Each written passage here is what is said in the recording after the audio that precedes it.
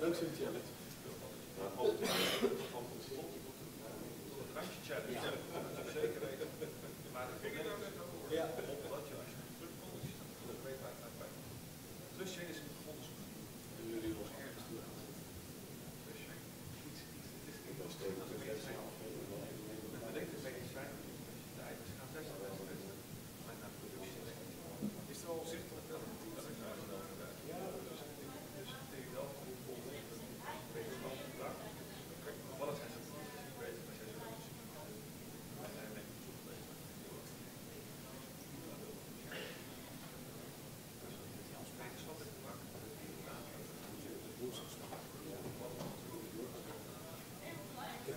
was probably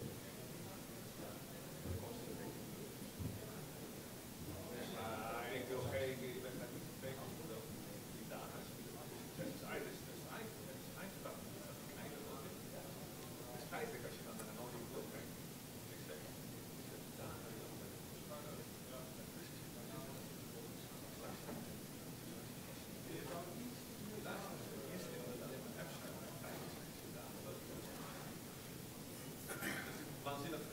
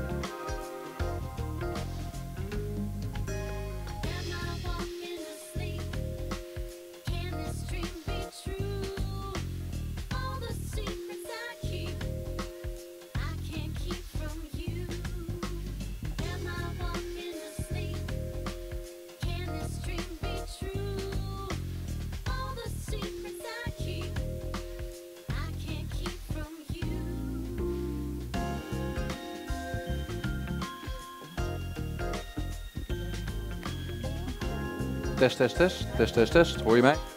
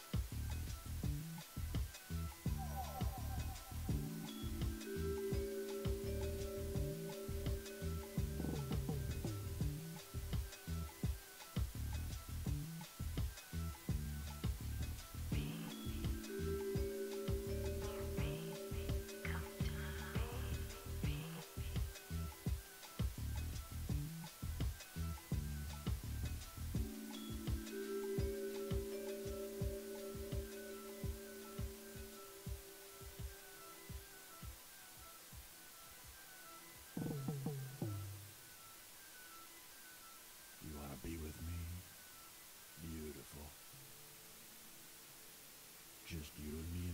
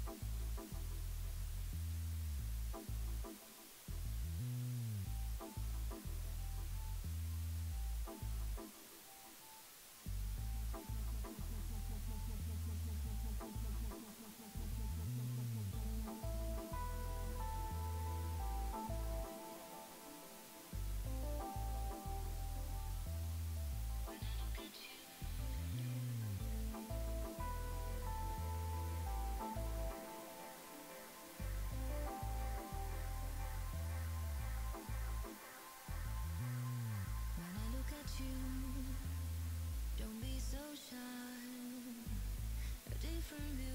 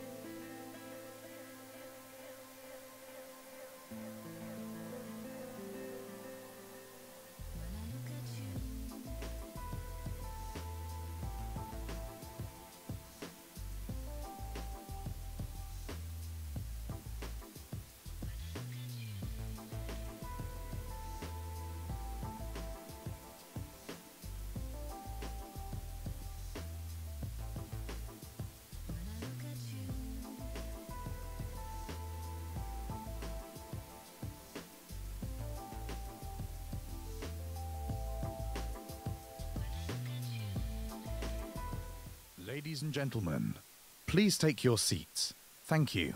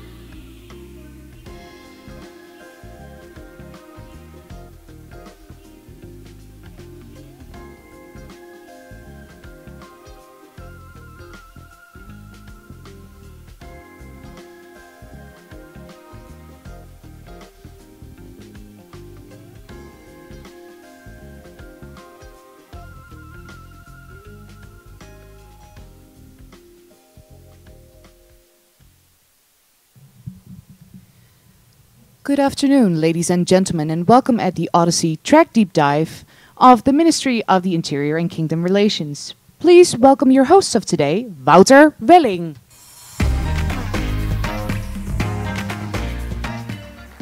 Welcome, everybody. Uh, my name is Wouter Welling. I'm a coordinating policy officer here at the ministry. Normally, I work on policy briefs, so it's pretty exciting for me to be standing in front of a large crowd of people who probably regularly do not end up at the basement of a governmental ministry. Uh, so, uh, a warm welcome to all of you guys. Um, I'm very excited to have a group of people here um, which is very mixed, which consists of people who work in government, people who work in startups, people who work in the corporate world, people from abroad. Um, so I'm very excited to have such a diverse group here at the ministry. Um, we're going to have a very busy program, which consists of the challenges we have, some speakers who we flew in from abroad who know a lot about these topics. Um, but first of all, I would go to, um, let's say, formally, she's my boss um, is his, uh, Marieke van Wallenburg, who is the Director General for Government and Organization here at our ministry, to give you a warm welcome and explain what we're doing over here.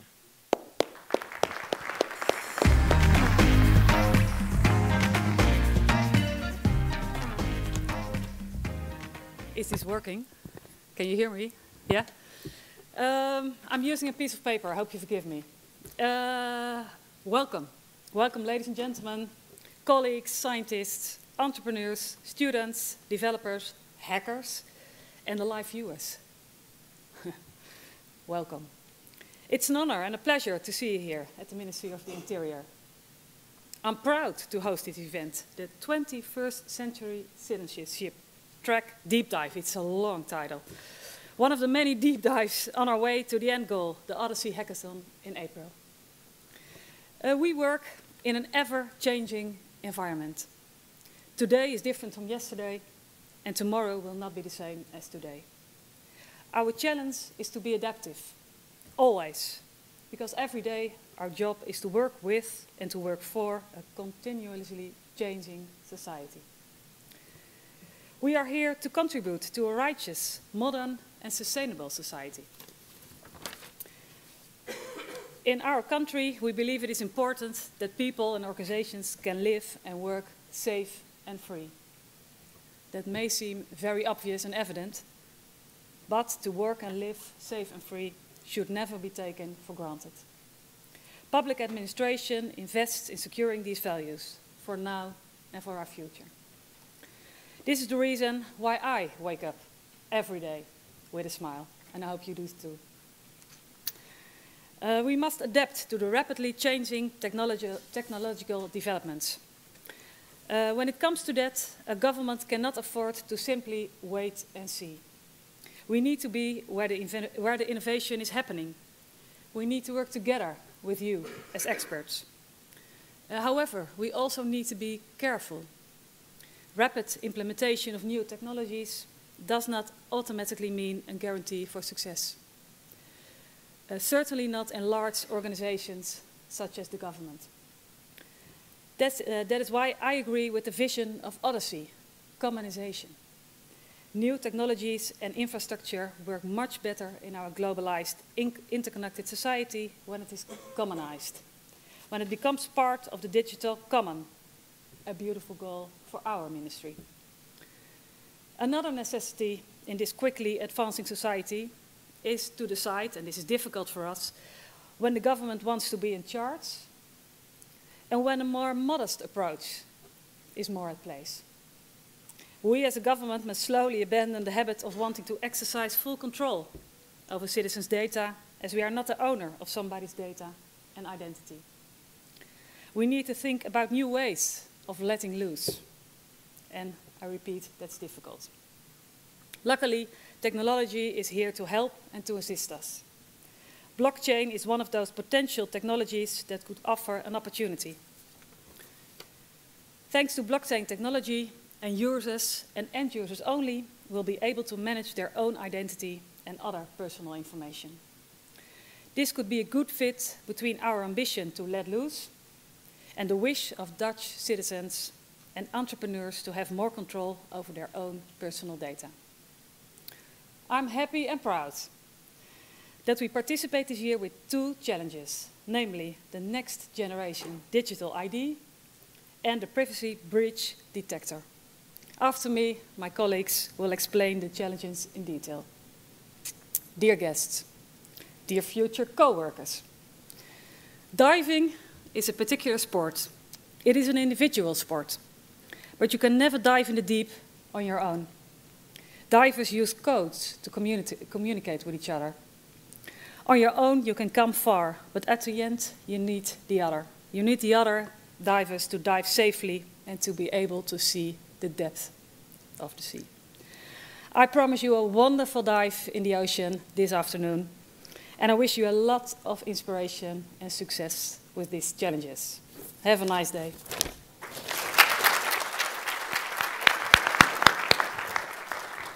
Thank you, Marieke. Dankjewel, Marieke. Um, after this brief introduction, I'd like to tell you about a phone call I received around three years ago. It was from a guy who told me that they were organizing a hackathon. And I thought, well, that's pretty interesting. And uh, after a while, we found out that this was not just a hackathon. This was, um, which turned out to be the largest blockchain hackathon in the world. And this guy also seemed to have a pretty big idea about how we should organize these kind of things. Um, let's hear from him about what Odyssey has become. Uh, Rutger van Zuidam.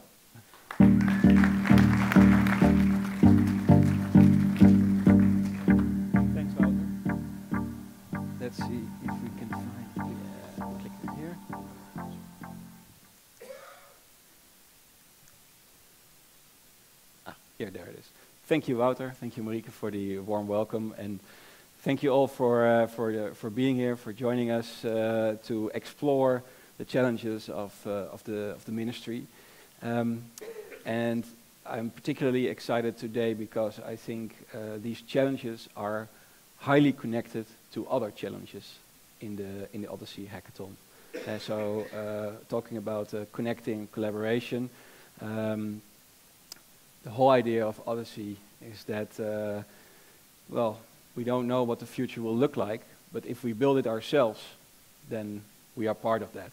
So uh, that's where I would like to ask you and challenge you to to see uh, where the connections can be made with uh, with the other challenges.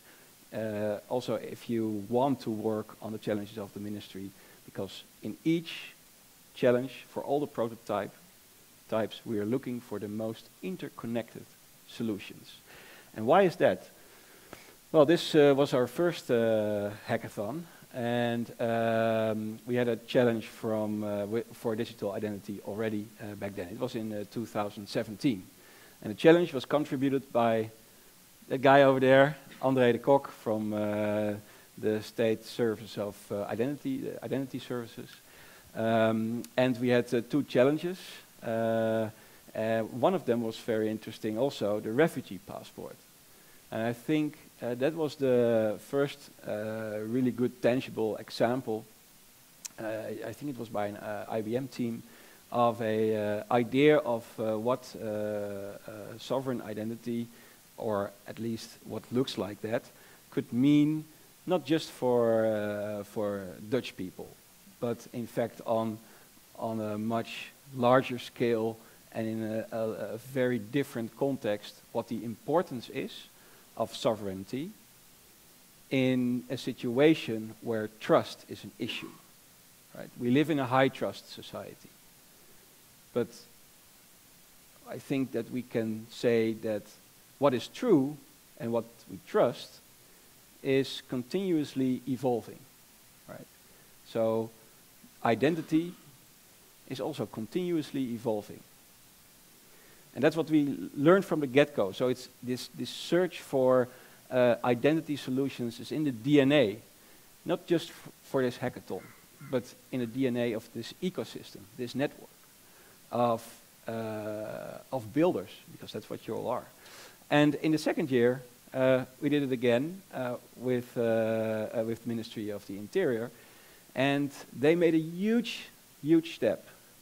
Namely, uh, I was last year we were here uh, uh, diving into the challenge as well. And uh, Mr. Uh, Raymond Knops was here as well. And um, yeah, he asked me, should I come to the hackathon? And I said, mm, that would be awesome. And he drove from Venlo to uh, the hackathon. He was there the whole Sunday, and this gained a lot of insights of what happens, what can happen, when different stakeholders within a complex challenge are uh, at the spot collaborating with the teams. And I think this is what we can take forward even further this year. Um, the 2019 edition. Um, a bit of a preview.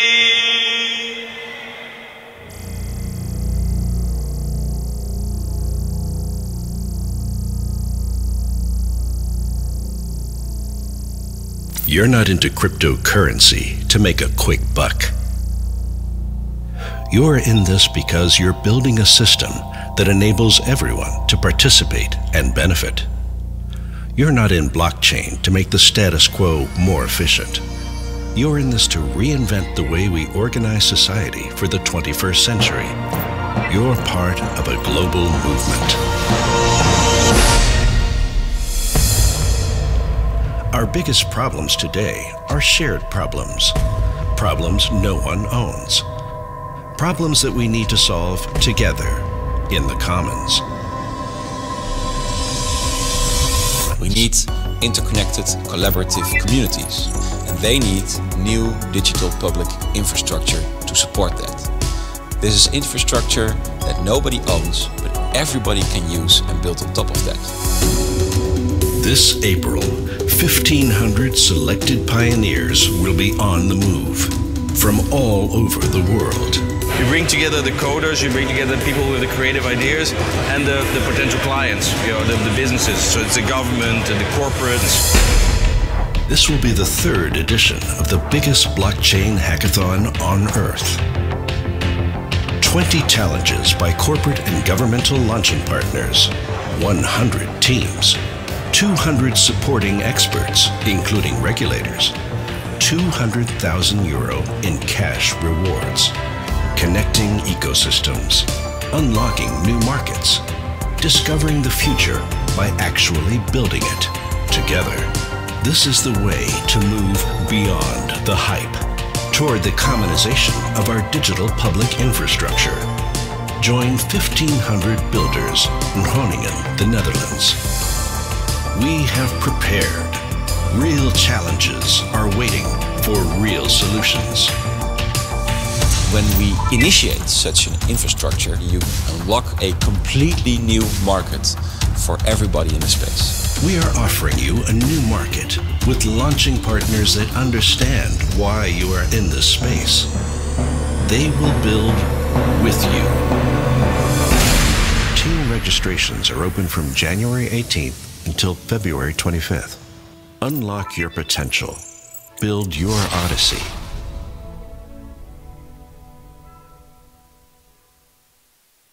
I was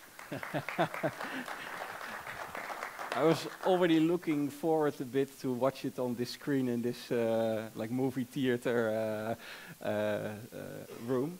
So um, doing blockchain hackathon, uh, AI, whatever kind of technology, it's nice. But we we deliberately took uh, um, an, a direction, I think, after this summer when we killed our Blockchangers brand and we started developing on, on a new story. Um, because this whole thing, of course, blockchain can help, but it's not really about blockchain. Uh, if the Chinese government would use blockchain to achieve its social credit system, or if Google would use its blockchain, uh, blockchain to do the same thing, but connected with commercial banks, what's the difference, right? So the question really is, what kind of world do we want to live in? And how do we want to enable each other to collaborate in new ways so that we can take uh, uh, uh, our society forward in the digital age?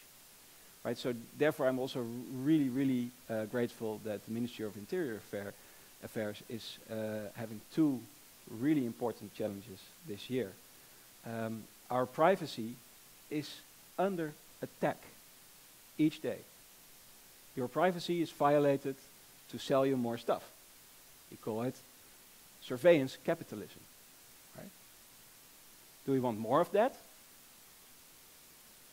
This year, more than 600,000 people quit Facebook in the Netherlands. That's a sign. That's a sign. It's just the start of it. But I would like to have an alternative as well, right? So that's what we're doing here, creating the alternatives, the better alternatives. And um, also when we look at digital identity, it's one of the keystone use cases, the keystone needs for a lot of other use cases we want to build, uh, and therefore it's extremely important that we work on it. It's each year it's one of the most popular challenges. And so this is where we can where we think breakthroughs can can come from. And um, when we look at uh, what I mentioned in the trailer, uh, in the creation of new markets, this morning uh, someone was mentioning uh, an example of uh, blockchain use in the food industry. Um, and then they called, uh, they, they named Wal Walmart and IBM as an example. Well, same thing happens. One organization uses blockchain to streamline its own business. We take it from another point of view. If we create these open protocols that have no owner, or where everybody can have ownership, and where everybody can build on top of and use it in new types of applications and new types of products and services, then you unlock a new market. It's a grassroots ecosystem, it's a grassroots market.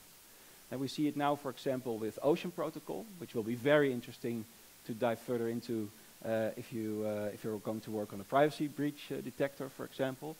They have a protocol in the commons and we see already, because they just went live with their first uh, edition, that a lot of communities start to pick it up and, and build on top of it already. And they don't need to pay Ocean for it. So that's, that's an interesting concept. So if you think you can create a solution and have everyone in the world buy it from you, that's what we used to do, and that's where venture capital was trying to make money with Uber and stuff like that. But that's not really the model we envision here. However, on top of that, where you, where you uh, address the market, where you provide services, that's of course where, the, where a healthy competition would be quite good. Huh? So um, the challenges have been prepared in such a way that they are uh, a great entry point, I would say, uh, in a interconnected but also decentralized context so there is a challenge that cannot be solved by one organization. It can only be solved through a network of organizations and of stakeholders. And especially in this case, civilians are the most important stakeholder, which need to be enabled to collectively contribute to what we think is a success for everyone. And um, then, of course, we uh, have teams um, so some of you have been to several deep dives already. Each deep dive, I get uh, a new uh, a new team picture. Uh, so uh, uh, the Scooby-Doo, thanks Stefan. Um, so the teams uh, this year, we see something really interesting. Um, we had a lot, good, lot of good teams in the first year and also in the second year. But to be honest, and everybody knows, those years were also hype years. Right? It was, there was a lot of promise out there. And people love promises. So this year, what we see with the teams especially, because the challenges, the challenge holders are al already on the same page, but also the teams, they are really driven to create this new type of infrastructure that serves complete ecosystems and networks and really see where the true potential of AI and blockchain can be and not just build something for the sake of blockchain or AI. So that's, that's a step further, uh, I would say, than, uh, than, uh, than last year. Um, a bit about the hackathon. Most of uh, the guests, uh, last year we had over uh, 900 and somewhat guests. most of them arrive on the Thursday, Uh, we have an incredible amount of uh, expertise joining us, helping all the teams uh, uh, the whole weekend.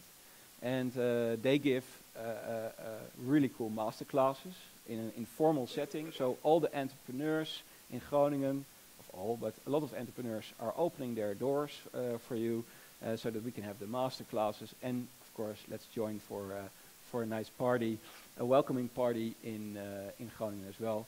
Um, be careful for, uh, for our bar and nightlife because uh, Wouter's already nodding uh, because we, we, uh, we have no closing times. So um, the first day of the actual hackathon on Friday, um, that's the, the day of questioning, right? Uh, you will bring, no matter how well you are prepared, you will bring a big bag of assumptions with you. And um, the more of these assumptions you incorporate in your prototype, the higher the chance of not winning, right? So uh, if you if you prepare um, your ass off and then you come to the hackathon and you you crunch for all these hours and you don't ask questions to all the experts and to uh, uh, also the stakeholders of, of the challenge, that's one big missed opportunity? So the teams that win leverage all the knowledge out there. But especially in, this, uh, in these challenges, I already mentioned, the interconnectedness is really interesting. For example, yesterday we were deep diving at KLM. They want to have a biometric solution because they are building what they call a happy flow, right? Biometrics, ID, hmm, yeah.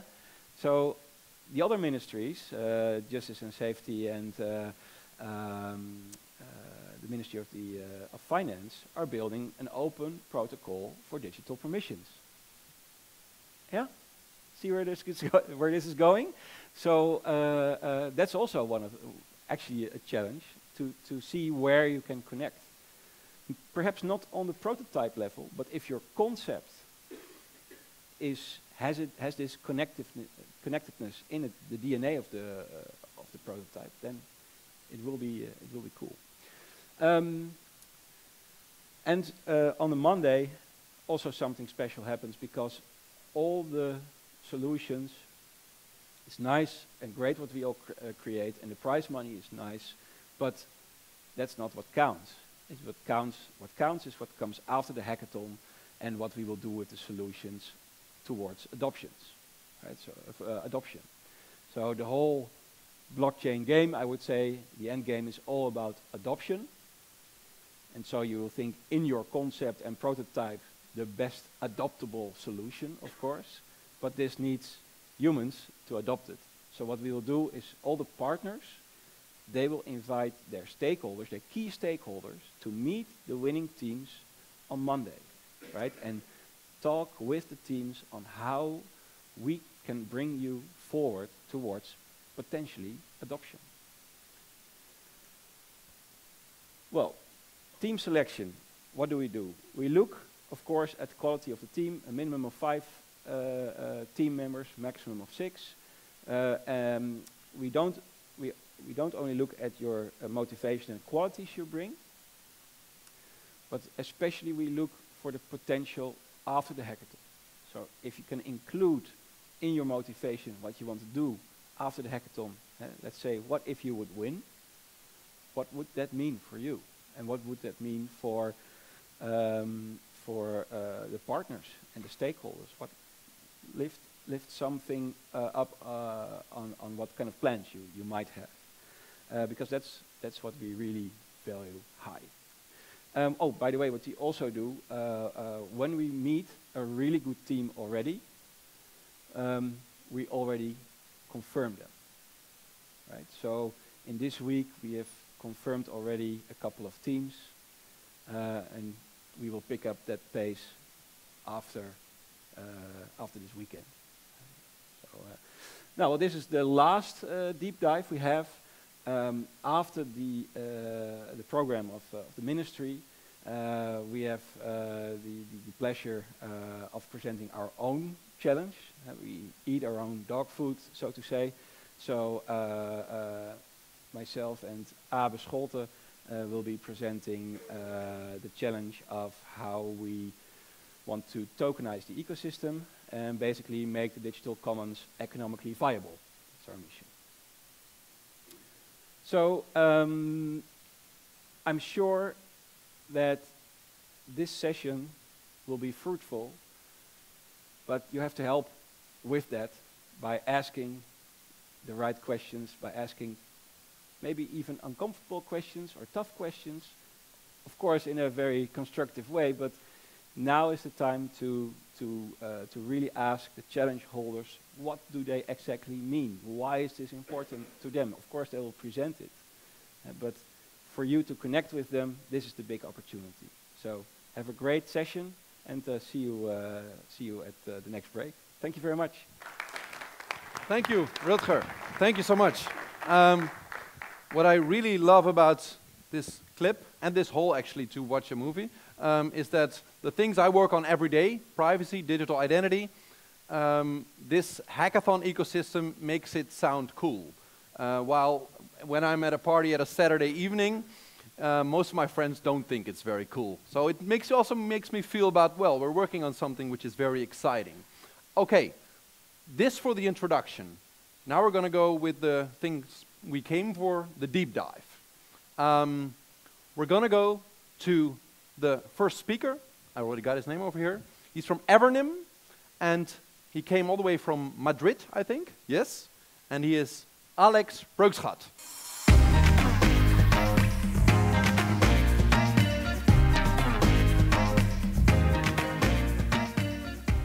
Good morning. Uh, can you hear me well? All good? Excellent. Pleasure to be here with you today. Um, I love coming to the Netherlands. I've been many, many times. I even have family members here, so it's great to live in Rotterdam. So this is about myself. Um, I'm calling this Identity is the New Money because there's a really beautiful book that's um, from David Birch that I really recommend you to read, which is called Identity is the New Money. And basically, um, identity combines two other things that I'm really interested in that I've been working on for many years. One is money, second one is blockchain, and the third one is identity. So the thesis of every, everything I'll be talking about will be a little bit about that. We've co coordinated a little bit with Paco because we are both Spanish, which is a coincidence. You, you have two Spanish guys coming today here for you. Um, um, so I'll do more the high level aspirational view of where I think identity will be going to, and Paco will do like more of a deep dive of a concrete use case. Um, my background is, is a little bit mixed. I'm kind of Spanish, German, Moroccan, but I lived most of my life in Spain. So if you hear my German accent, it's because I went to the German school in Malaga. That's where I'm from. so um, before we go into identity, uh, some, some things I, I, like to share because uh, um, uh, uh, he, he, was saying it before, and I think, yes, the last two years we had like a big hype around blockchain. And, and this year is, is, I think, is much, much better. Um, I do a lot of meetups, and um, we just did one two days ago where 90 people popped up out of the blue for smart contracts, very basic. And what I'm really seeing is that the quality of people is increasing a lot, and all the people that were just interested in making a quick buck, is, that's really disappearing. But independently of blockchain, I think we have a number of challenges that, that are really changing our society really quick. One is technology, all the exponential technologies, and blockchain is one of them. And the regulatory pressure is really increasing for everyone, so that's ma that makes everyday business more complicated. I mean, you have very advanced countries, maybe like the Netherlands, where things work maybe easier or better, but in countries like Spain, where I come from, it gets really, really complicated, all the stuff you have to deal with from a regulatory point of view. Digital natives, the demand is basically all the people spending all the time online, they're very demanding and they change really quick, and that's basically all of you. Um, and then you have all the new tech. New tech is like every, all those new companies um, trying to eat up the traditional businesses, and that's really reshaping the value chain.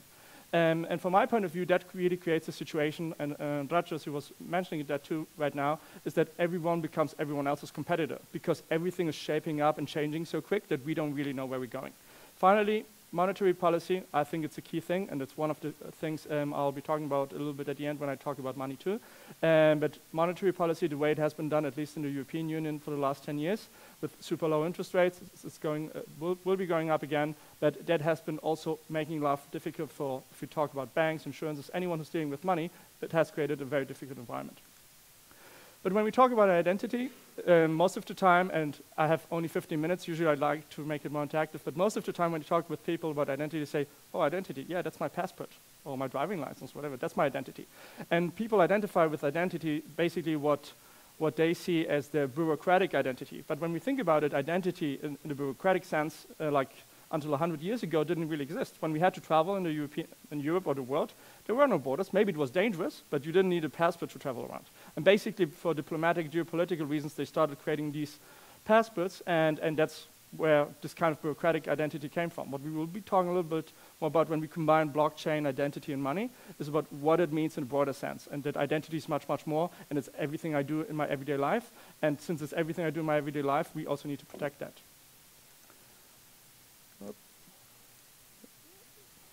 Yeah, so that, that's paper, but um, I'm just not sure if this moves. Okay.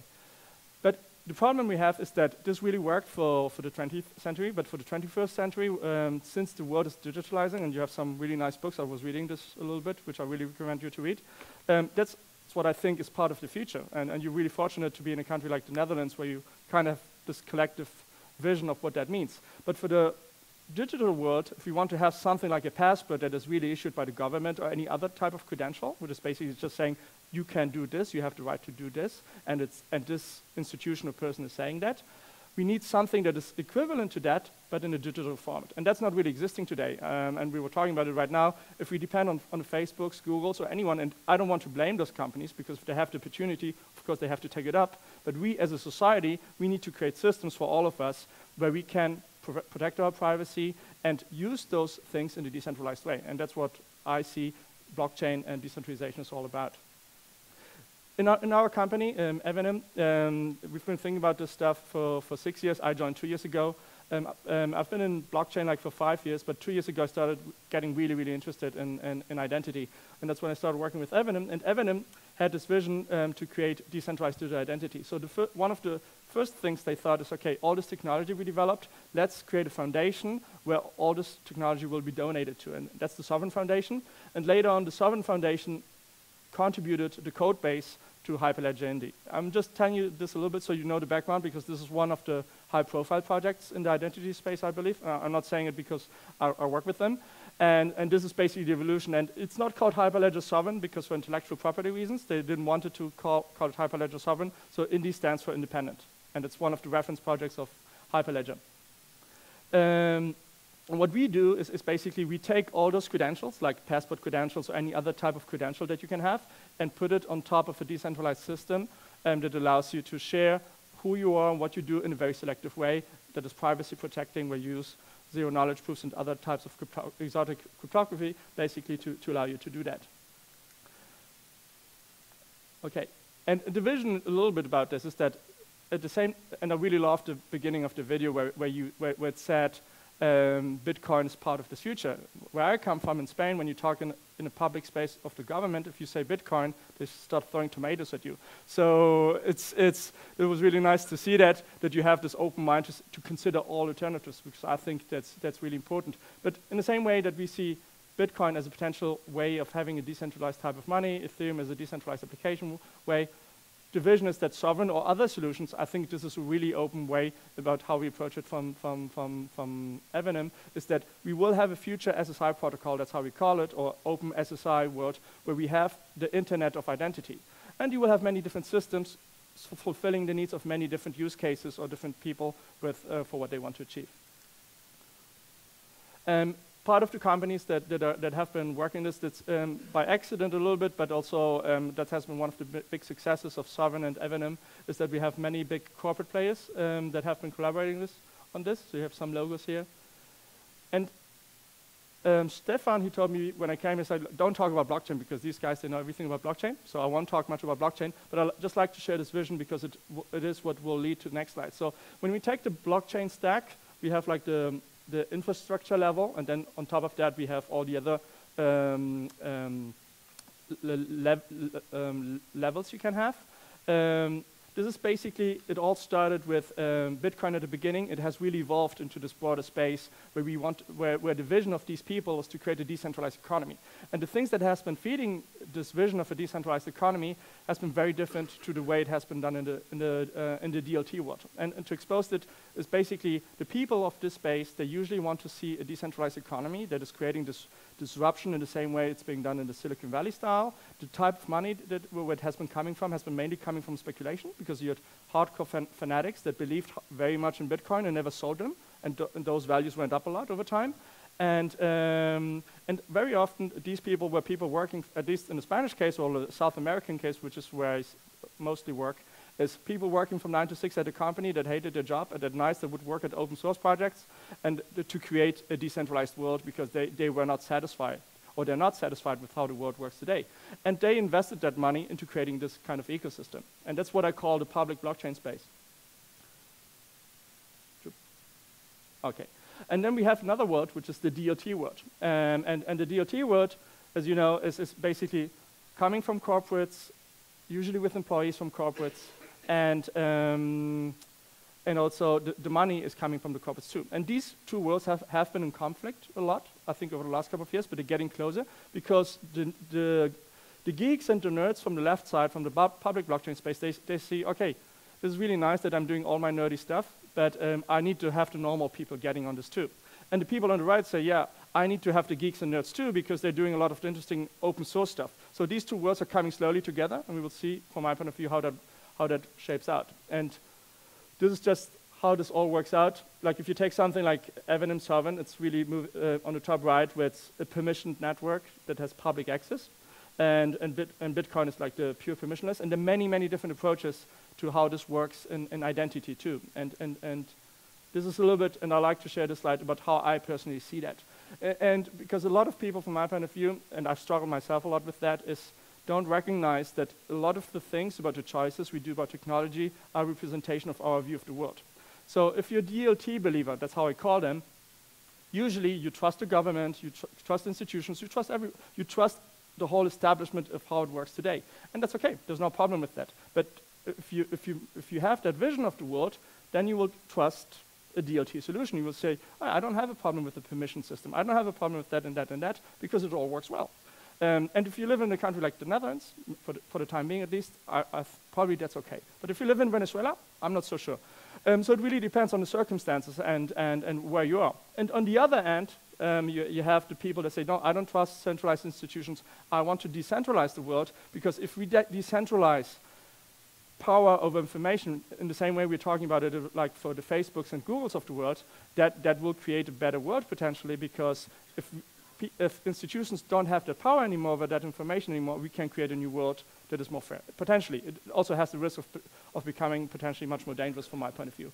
So th this is this there's, there's, a whole spectrum of that. Um, I think the, the, the, most decentralized solution we have today is Bitcoin. It's, that's on the cutting edge there, and it has been getting more centralized over time. And the, the reality of things is, is that creating decentralized solutions is incredibly difficult and the many le levels of decentralization. So you cannot only say, oh, this is decentralized. No, what, on what level is it decentralized? Is it ideologically decentralized, politically decentralized, technologically decentralized, logically decentralized? There are many, many different aspects about that, what that means. So you have all kind of grace in the middle here. And that's the really important question, I think, when we think about decentralization is about to see, okay, where's decentralization really happening? Because the most decentralized system we have today is Bitcoin, and everything else in reality is below that. And it's not as decentralized. So, and since this becomes an ideological world very often where you have these guys saying you're wrong and these guys saying you are wrong, I don't think anyone is really wrong. It just really depends on your vision of the world. And your vision of the world, whatever it is, is, is, is okay and it's right. But to establish this kind of communication and, and dialogue, I think it's important just to take this into consideration. And this basically is happening in the identity world too. In the identity world, we, we have all those flavors of, of identity where we'll have people say, oh, I have perfect decentralized identity. I think in most cases that's not really true today because it's incredibly difficult to achieve that. Uh, but yes, the vision of what we want to achieve is to get there at some point uh, in the future, and we'll see which technologies work for you, which use cases. And now about money. Um, um, usually I love to ask questions about uh, what people think about money, but I don't know how, how well I'm doing on time. Um, I'm eight minutes, nice. Good. And so then I would love to ask you two questions about money because I, will love to hear the, the answers. Um, when we think about money, um, I think it's very important. Um, I like to, I love to talk about it because I think our societies they tend to put money like in a, in a pedestal and like very high, almost as, as if it were a god. And I don't believe it's, it's a god. The more you study monetary policy and how money works and where it's coming from, I think just, it's just a tool for society to communicate with, that, with each other and, and transact. And, and, and that's the basics. But um, um, if you maybe, uh, my question for you is that when you think about money, why do you think when you go out in the shop outside here in, in The Hague, um, why, why do people accept your euros? Anyone has any idea or any suggestion why that works? Trust, I heard, right? Yeah, okay, what else do you think?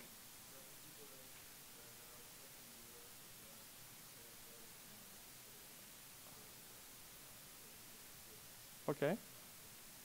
Okay, what else? Do you think? Okay, they trust the government too. Yeah. Anyone else who has a su suggestion?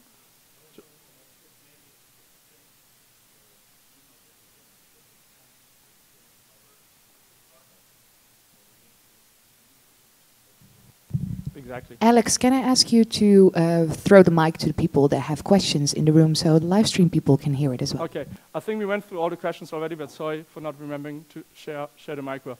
Anyway, these are the basic characteristics um, of money. You see them all there, that's the seven of them. And those characteristics, you, you said one of them already, uh, convert in functions. So basically, money needs to be a store of value, needs to be a medium of exchange, and also needs to be a unit of account. But everything starts really be by being a store of value, because if you have something that is store of value, that's good for you, because then you say, okay, I can hold this for some time, and I will be able to spend it in the future. Basically, you're avoiding um, current spending, and you're saving that for the future. But to do that, you need something that will keep its value over time. Those are just the basics of money, just for, for at least from my point of view, to, to, to, to share that quickly, because usually this discussion takes some more time. I think two of the key questions about why our money, uh, why we trust our money when we go to the shop, um, there are a number of reasons for that. Um, because it represents uh, the Eurozone economy, because the central banks kind of with the monetary policy make sure that it kind of keeps it, its value over time and stuff like that. Um, but the, the, the, the two key instruments about how the governments achieve, or the central banks achieve, that from my point of view, that, that money um, um, can work as a tool is the two tools. One is because it's legal tender.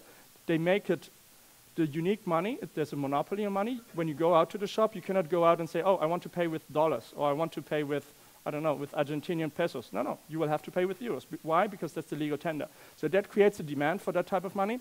And the second reason is also because you have to pay your taxes with that. Because the legal tender, when, you, when the tax authority of the Netherlands comes to you, you cannot go say, oh, you know what, I, I'm gonna, I made millions with my bitcoins, I'm going to pay you with bitcoins. No, they will say, no, you're first going to sell some of your bitcoins, and then you'd come with me and pay with euros because that's the legal tender. And all those instruments, they, they start creating uh, a wheel of demand for that type of money. And since there's no competition for any other type of money, that, that's basically the reference money. That's, from my point of view, how they create um, those tools. What the, the way how this is related, and um, David Birch from, my, Birch, from my point of view, really describes this really well, is when you think about society, um, in our complex societies, we need these tools of money uh, the way we have it. Um, but if you imagine like the hunter-gatherers times, like a long time ago, they don't needed money because basically if you know everyone in your super small village of 30 people, you don't need money. Basically, you have an accounting system about how you interact with all each other and you know each other. And that's how this is related from my point of view to identity. Because basically when you know the people, you know the identity. You know he's related to this person. He usually doesn't. He, I invite him every Friday to lunch. He never invites me back to lunch. In my internal mental accounting, he's in debt with me, so I'm not inviting you anymore. You, you're like your bad payers. So in small system, that kind of, of works. And what is happening with identity, and that's from my point of view what is uh, what could be happening in the future, because since crypto or cryptocurrencies kind of fulfill all the characteristics of money, and we are unifying the identity world together with the um, crypto world over time, we might end up having a representation of the, hunt- the hunter-gatherer times the way we had it um, um, thousands of years ago in a digital society. So that's one of the hypotheses for the future. And from my point of view, the reason why we can't do that is because, uh, at, um, at least where I'm coming from, which is a very conservative country, I like to um, think about it that way. This is the, the universe represented since the Big Bang uh, in 12 months. And when you see the, since the Big Bang until today, basically in that in those 12 months, like one second ago, Christopher Columbus uh, did get to America. And this is something you can see in, in Cosmos on Netflix. They have a very beautiful series where they explain a lot of things about science.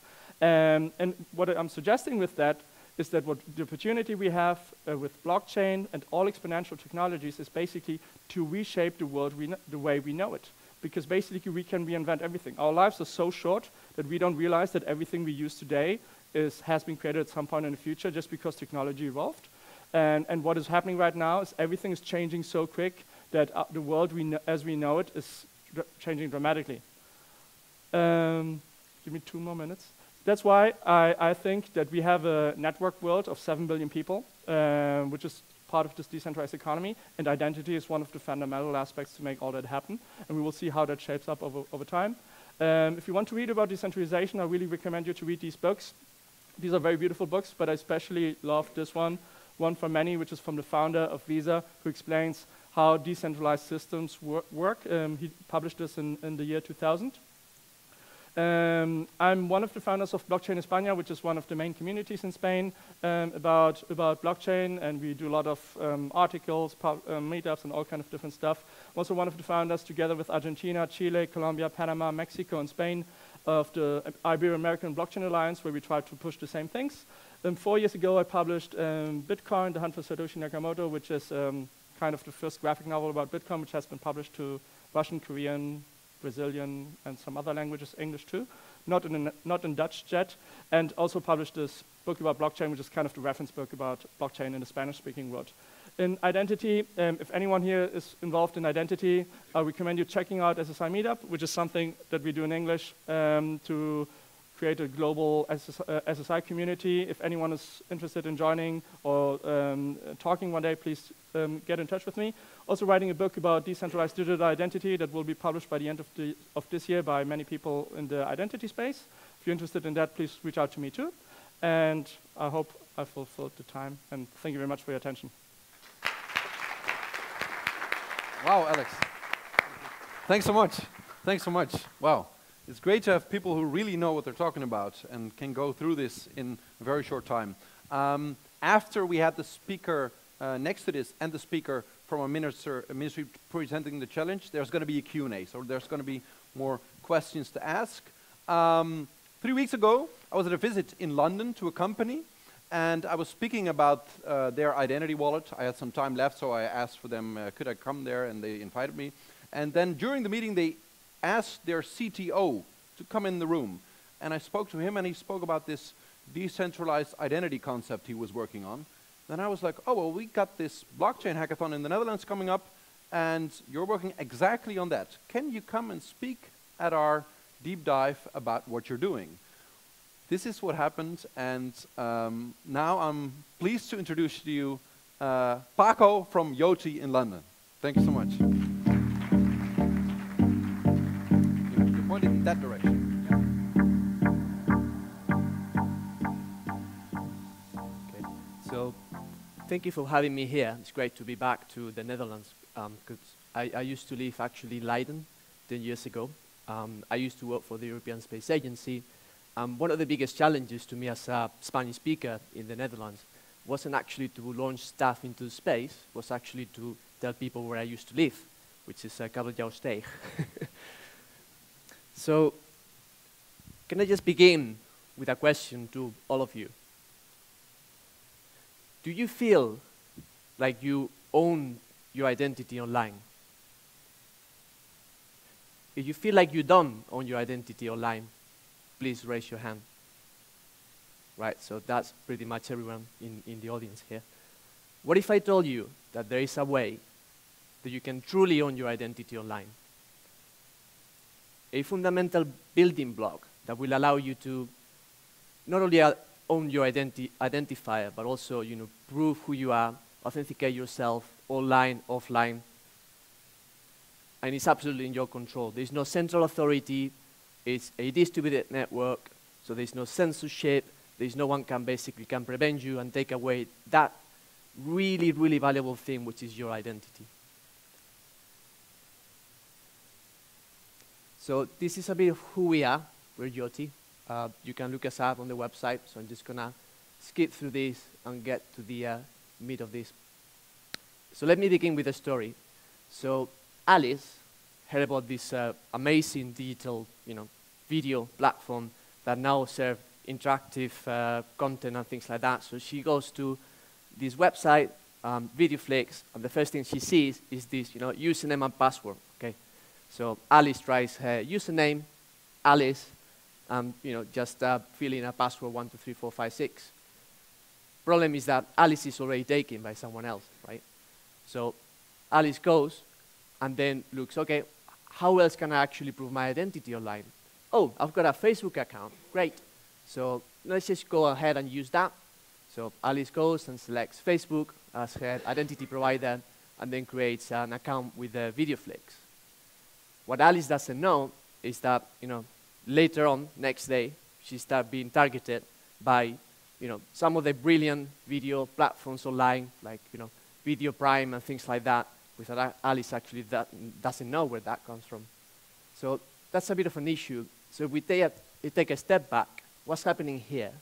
Alice is delegating her identity to one of these uh, blue chip uh, big identity providers. So she's pretty much like giving away control of that.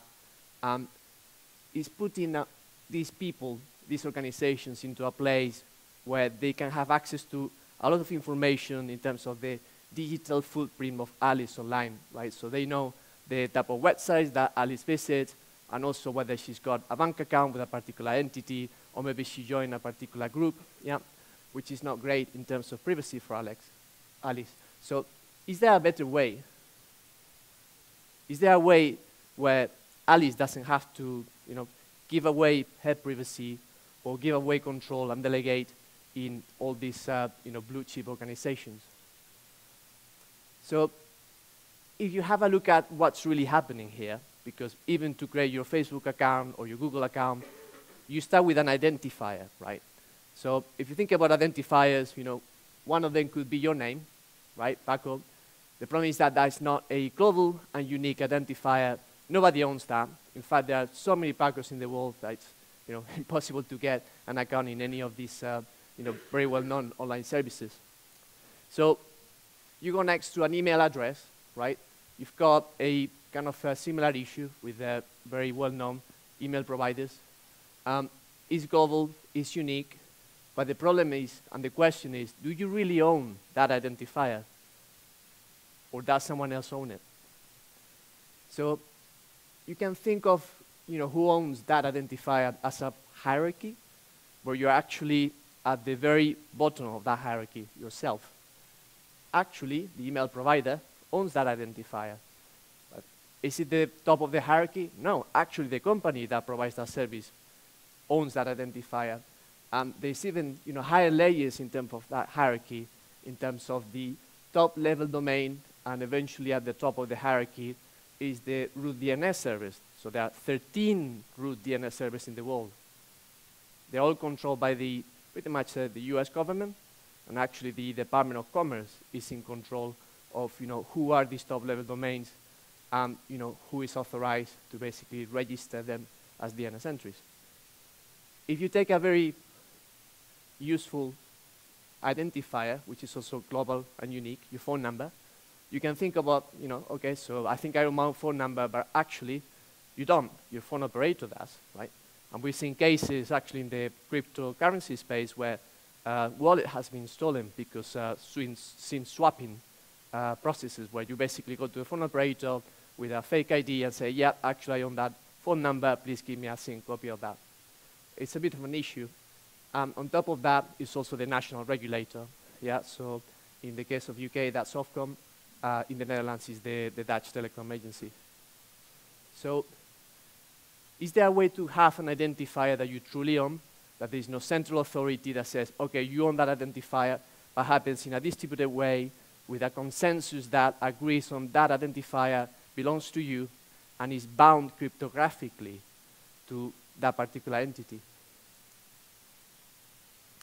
So this is a fundamental concept that came uh, up about you know, three years ago. Um, it was a piece of work sponsored by the Department of Homeland Security, actually. But the, the, the concept is, um, is that you create this distributed identifier that nobody owns. It's a string that represents the, the ID, then the method, and that's particular and specific to a, a, a blockchain system, right? So the method could be, for example, um, on Ethereum blockchain, it could, be, it could be on the Bitcoin blockchain, it could be on the Sovrin blockchain, or even the Libre blockchain, which is a project that we have in Yoti. Um, after that, you've got that particular sequence of strings uh, that represents that identifier. Um, and then the one of the fundamental uh, components of your DID, it's a key pair, right?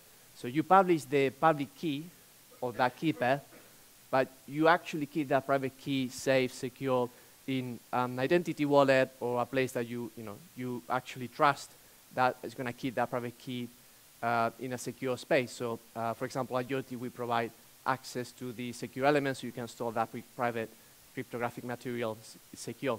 But it's your choice, right? So you could actually, uh, you know, print a QR code with a private key, put it in a safe, or you know, under the pillow if you want. It's absolutely your choice. Uh, the standard doesn't dictate where you have to store that private key.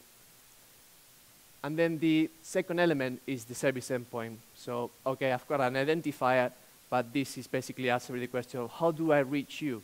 So, if you're in control of that private key, you are uh, pretty much authorized to update the service endpoint without having anyone or intermediate person or central authority to doing that for yourself, like is happening to today with the um, uh, DNS systems or registrars. So you're in absolute control to update that, and you don't depend on anyone.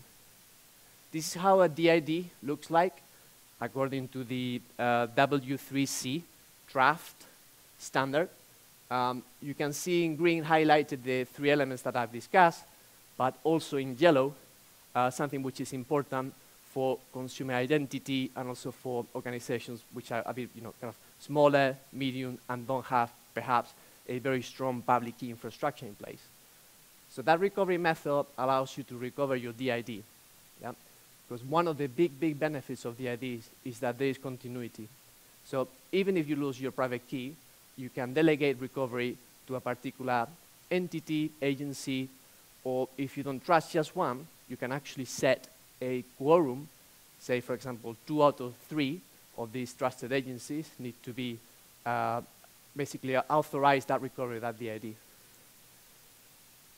DIDs are interoperable, so you know there's no point of uh, Yoti coming up with one DID method or Sovrin or someone else. Actually, the standard allows you to interpret across different blockchain systems, right? So this is a project by the uh, Distributed Identity Foundation called the Universal Resolver. So that allows you to provide a DID, and then that looks into the method, in this case Sovrin, but that could be, again, Ethereum, Bitcoin, or Libre, and that will allow you to resolve the service endpoint, the public keys, so you can actually interact with that particular DID. So how does the use case look like now with Alice registering her account in VideoFlix? So instead of picking up a username or password or delegating to a third-party identity provider, she provides her DID. Um, okay, Alice doesn't, she's not capable of memorizing this, but the identity wallets and the libraries basically, um, they, they, they move away all this complexity. So for her, the only thing that she will see is that's her VideoFlix DID. Yeah, so this kind of pet name that represents that DID. Think about it like your agenda on your phone. You don't know the phone numbers from all your contacts, but you basically give them uh, names that you actually understand and have meaning for that.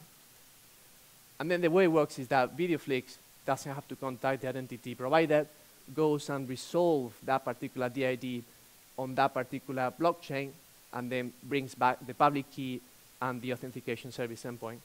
So the next step for VideoFlix is basically to push a uh, challenge to that authentication service endpoint, and because Alice is in control of the private key, she can sign that challenge and then authenticate herself in the VideoFlix platform with no intermediates or uh, central authorities involved. But what happens when Alice loses her phone, right? It's a question that uh, you know we found out very quickly at Yoti when we started to work on digital identity. Like you know, you could have all these uh, great cryptographic-driven digital identities, but in reality, people lose their phone, organizations lo lose access to private keys, so how can she recover?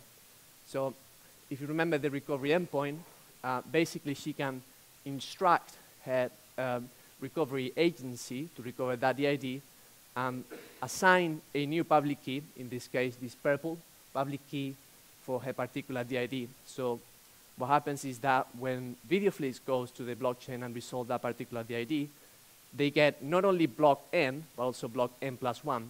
And they will see that you know, the purple public key is the one that is actually on the head of that particular blockchain and the one that is authorized to basically uh, authenticate that particular DID. So the process is pretty much the same, but uh, the blockchain is retrieving that purple public key instead of the green one, and then Alice is really happy because she can continue to watch her favorite TV series on VideoFlix. But you know, all these DIDs is great, like it gives you all this uh, sovereignty in terms of you really control those identifiers, you don't depend on any central authority, but um, identity is way bigger than that, yeah? For identity, you actually need to provide context, you need to provide statement. Um, we call these verifiable claims, which is you know, a very simple definition because it's just a statement that you can verify cryptographically, right? Um, you can think about you know, your passport today, or driver's li license, even tickets or memberships to particular organizations, um, even uh, particular attributes that define uh, that person, like maybe you know plus 18 attribute, yeah, that can be issued as a verifiable claim, and that can be disclosed without giving away your full date of birth. Yeah. So, how can you also use verifiable claims in such a system without compromising on privacy? Because um, you know, today you could give a uh, certificate to someone, yeah, and then the, if you want to prove your identity, you have to give all of the information in that certificate, like you know, today happens with your passport, driver's license, and things like that. Um, in this example here, we've got uh, four uh, particular issues, so a bank, government, an employer, and an email provider. So imagine that Alice has been watching too much VideoFlix, and now it's time to get a job. So she's got a government ID, bank ID, and an email provider. But the way that she interacts with these particular issuers is leveraging on everything that we talked about about DIDs. So she generates these private keys, yeah, and publishes these public keys and creates those four different DIDs. So A, B, C, and D, they're pretty much independent from the issuer perspective. So what she does is that she provides those DIDs to the different issues, and that way she manages to have um, achieve privacy so the bank doesn't know that that's her digital identity or persona, uh, for example, for that government or that employer or email provider. So what happens is that Alice starts collecting these verifiable claims and keeping them in her secure identity container. So that's something that she doesn't publish onto the blockchain, she doesn't give away to people, only she decides to disclose attributes of those verifiable claims as she needs to, right? So the way it works is that she may be taking uh, her um, nationality coming from the government as an issue because that's important to prove that you know she's Dutch when she wants to you know find a job somewhere in Europe. Um, she can get also the bank account number coming from the bank, yeah, because she wants to get paid, and also an email provider so the employer can also contact her. So she produces this um, zero knowledge proof disclosure that takes all these different attributes and provide proof to her employer that you know these are uh, her identity attributes and they come from all these different issues and the employer can verify that with cryptography. Yeah, it doesn't need to trust a particular uh, entity, but basically goes to a blockchain, resolves the public key of the issues, and can verify that cryptographically. And the analyst uh, basically can reuse and produce new proof of uh, disclosure as she sees fit. She sees fit, and you know have to disclose elements of attribute with other uh, service providers. So we're talking about DIDs, which is the uh, pretty much gives you this interoperability layer, allows you to have the fundamental uh, building block, which is your distributed identifier.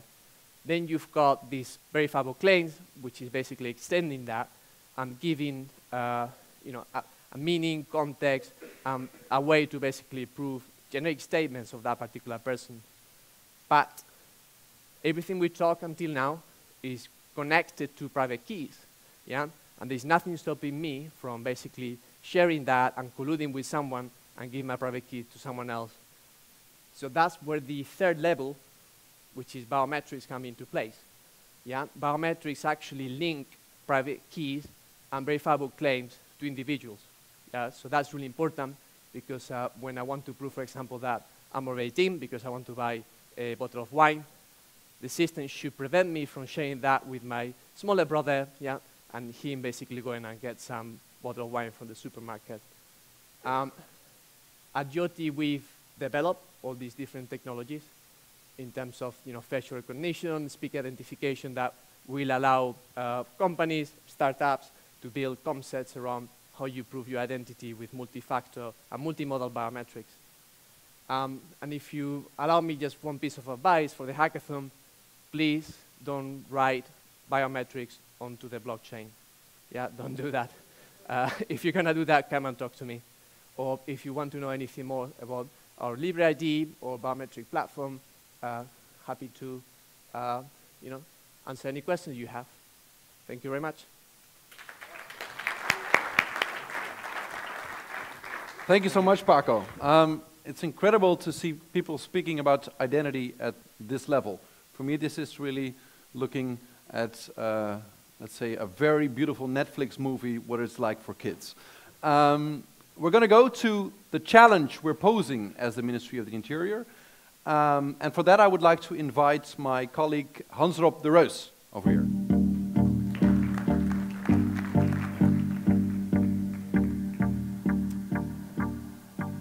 Very much, Wouter. Um, I'd like to introduce you our first challenge about uh, next generation uh, EID. Um, okay. In simple terms, our ambition is that all citizens in, in Holland are able to prove their identity or deliver attributes about their identity um, on the internet to the government, but also in, as, a, as a consumer to the business. That's C2G and C2B. Our main focus from the ministry is C to government, but we invite you to also make solutions to make use of it in a broader sense as a C2B. Um, this is the text on the website about the challenge, very long sentences. So I can imagine there are still a lot of questions what the challenge is all about. So let me skip this sheet and let me explain more simple terms. In a nutshell, we ask you to develop an app that delivers attributes, but for the government, one special attribute.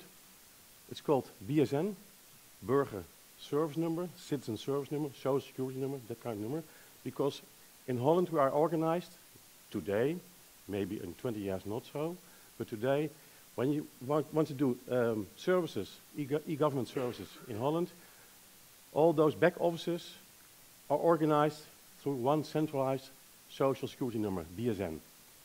So in essence, when you want to do business with the government on the internet, the only one attribute you have to provide is the BSN. Um, for the C2B, there can be a lot of other attributes.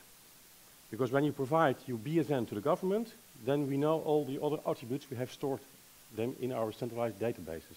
I'll show you later on. Um, in Holland, we have about 13.5 million active citizens who use uh, e-government services. That's, uh, we, our total population is 70 million. A lot of people use e-government services. Um, there's one major challenge that the solution has to um, has to prove that it is um, uh, uh, according to the rules of eIDAS substantial. The level of trust is very important in this solution. That's, I think, where the challenge is. But let me paint you the, the, the level playing field in Holland. How's the situation organized? So where can you build on? At first, in Holland, we had a situation that all the municipalities, the, yeah, when you live in Holland, you have to go to a municipality and you, have, um, you will be registered in a centralized database. So in Holland, we have one big database where all our citizens are registered with a BSN number. Dus your bureaucratic, your administrative, administrative identity is that BSN. Uh, your date of birth, your, uh, uh, uh, where you live, etc. is also stored. Second part is that that municipality proves your physical identity document so you can show you in the real uh, world who you are. We have three kinds of identity documents, driver's license, identity card, and a passport. The same data stored in, some of the same data and stored in the central database is also in the uh, document. I'll show you later. A third part is that those 13.5 million Dutch people, they use a login service from the government. It's called DigiD. It's already uh, about eight, nine years in place. It consists of a username and a password. So it's a, a very basic um, login service. And we're looking for a next step of a level of assurance substantial. But when you use, this all those Dutch people use DigiD, when you use it, it delivers the BSN to the government. That's, that's the, the mainstream how you log into the governmental services. And the last part is that in Holland, from the was 12, age 12 years and older, uh, 80, uh, 92% the Dutch people uh, have a smartphone. This is a very big uh, part of the Holland population has a smartphone. So we think when we deliver an app working on any smartphone, we have a broad reach for the citizens. So we have four, um, let's say, assets in place which you can use in building the solution. So you can use in your solution the centralized database with those data available. You can also, also uh, we will deliver some specimen smart cards for the challenge, driver's license and ID cards. Those smart cards, they have a chip in it with a contactless NFC chip. So you can read through NFC, NFC, you can read the data stored in those smart cards. Um, you can also use a DigiD, uh, DigiD account for test purposes, delivering a BSN on a low, uh, uh, basic level of assurance. And you have to bring your own smartphone. And maybe the most important thing, number five, is the citizen itself, his, his biometric appearance. That's what we can give you. But what's the, the real challenge? The real challenge is in the onboarding process not making an app, storing attributes, delivering the attributes to a service provider. That's not a challenge. The challenge is in the enrollment phase, the onboarding of the citizen in the app on a level of assurance substantial. Why is it a challenge? Because when you look at the regulations of eIDAS substantial, it says that when you enroll this, this, uh, the, the citizen, you have to check his identity on a strong level. You have to prove that when you uh, that you match the real person in life with the reliable, reliable source, identity document, the database from the government. So you have to make a connection between the real life person and the identity, the BSN stored in the app. The simple solution is to ask every Dutchman to go to the municipality, bring in his passport and show to the municipality uh, uh, uh, guy who he is. But that's not the solution we want because that's a very expensive solution. Uh, you have to go to the, to the municipality. What you want to, to achieve is that the, enroll the enrollment, the, the, the process can be as a self-service process, preferable from home. So as a citizen, I can use the app, enroll you enrollment as a self-service in the home situation. So, but when we don't see that guy, that citizen, how do we know that is not identity theft, there's no identity mixed up? How do we know for sure that when he uses that app, with a BSN or other attributes, that is that person binding to that app? That's a challenge. Using, it, using the app, there are many different uh, solutions, therefore, that's not a problem. It's the first phase. Um, the homework you have to do is uh, fight through all those papers from eIDAS, the regulations. It's a very heavy uh, uh, uh, set of uh, guidelines, rules. The most important one is in the enrollment phase, I highlighted that. The rules they explain about what demands there are in the enrollment phase. Um, suggested use cases. Well, the first one is obvious, the initial onboarding, getting the BSN attribute loaded in the app with that security level.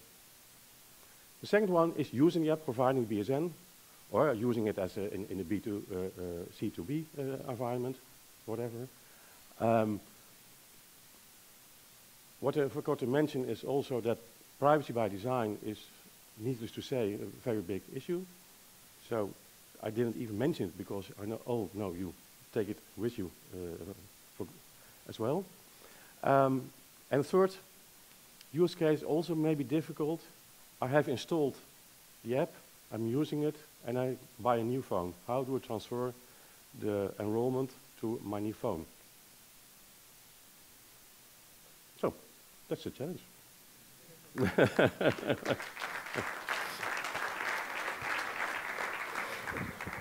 Very good to see that we're, I think, uh, even though I'm a colleague of Hans Rob, that we're really advancing in knowing what we want to have as a challenge for the hackathon. We're not just asking, hey, come up with a digital identity. We really thought this through. But now we're going to put this to a test. Um, at the hackathon, there will also be experts, like people with legal knowledge, people with technical knowledge, people with uh, governmental registry knowledge. eIDAS uh, knowledge. eIDAS experts, uh, Hans Rob. Uh, of course. um, but for now, let's go to someone in the room who has a question about this challenge to clarify it and get it more clear. And the only thing I want to say about that is let a question please be a question and not a statement. Sometimes people mix this up. Um, let's, let's, you were the first one to, to signal your hand. I'm going to throw this at you so the people who are listening with us on the internet can also hear what you're saying. I hope no one gets hurt. Hi, thank you. Um, Speak in the microphone. Yes, I have a technical question. So when you read the uh, NFC chip from your passport, is it able to sign uh, a challenge? is your Um, passport able to sign a challenge? What do you mean by cha- oh, the challenge from the, from the challenge to the chip? Yeah, yeah. So you send something to the chip, Yeah. you, you you request some information, and then the chip signs your request. Yeah. Back. It yeah. delivers the, the, the data as the reli- reliable uh, data from the chip. That's what you mean? It's not a No. PKI certified uh, signature. I don't think that, that's it. But Uh, it's, it's, oh, it's, it's, only one way. You cannot send something oh no no to no the no, chip. no no it's just one way. Yeah. Okay, thank yeah. you. Yeah. It's a closed chip. You cannot write data on the chip or something like that. No. Okay, thank you. Okay, thank you. I think there was a question over here as well. Can you throw the thingy? Uh, well, pass it on so no one's get, no one's get hurt. Um, so um, a lot of people go to the municipality to get a driver license or passport once every five and Ten years. and once every ten years if you're older. Um, um, what is the penetration grade of all the Dutch people going to the municipalities to get that? Is it everybody? Yeah. In Holland, everybody has to have either an identity card or passport or a driver's license because you have to show your identity to, to, the, to the officers. So everyone in Holland has some kind of uh, smart card of passport with NFC. Uh, they are valid for 10 years. So um, when we want to, um, only once in 10 years one, one, someone goes to the municipality, and that's not uh, often enough for this problem. We want to, our solution, we, we aim that in, in between now and two years, we have a working solution ready for all those people in Holland. It's not too far in the future, now in two years. Thank you. Is there some? Oh, yeah, the hands are popping up. Okay, there you go, sir. I Speak in the actually have, microphone, uh, please. Yes, I actually have questions. Uh, first question is uh, regarding situation when uh, somebody loses his uh, digital device. What exactly do you expect to see? That, is What- that his identity is still be uh, protected. suc success. Okay. so it means that no, this, it has to uh, a PIN code or whatever. It, it has to be uh, uh, has to be bound, bounded with something he knows, not only what he has. Okay, fine. And another question: What about situation when somehow his secret was stolen, and his identity was used from another place? Yeah. Does this, this situation Just normal out when your passport is stolen, it can be used as well. Yeah. Photo replaced in my passport, in physical passport, but here we are speaking about digital devices when hackers can steal any secret information, just matter of time. So is this situation somehow sh- must be regulated from your point, Yeah. point of view, Yeah. protected? Yeah, it would be nice that if you that that you were alerted somehow that if you with, if there is misuse if, from your identity, that's step uh, one step. The second step, there would be some kind of red button you can push and uh, block your uh, uh, uh, uh, your app. So you have to build in. Nice. Yeah. Yeah, answered everything. Okay. Thank you. Thank you, sir. Can you throw the microphone to the guy over there? Please be careful. Yeah. Um, so I have a Please speak in the microphone. Okay, sorry.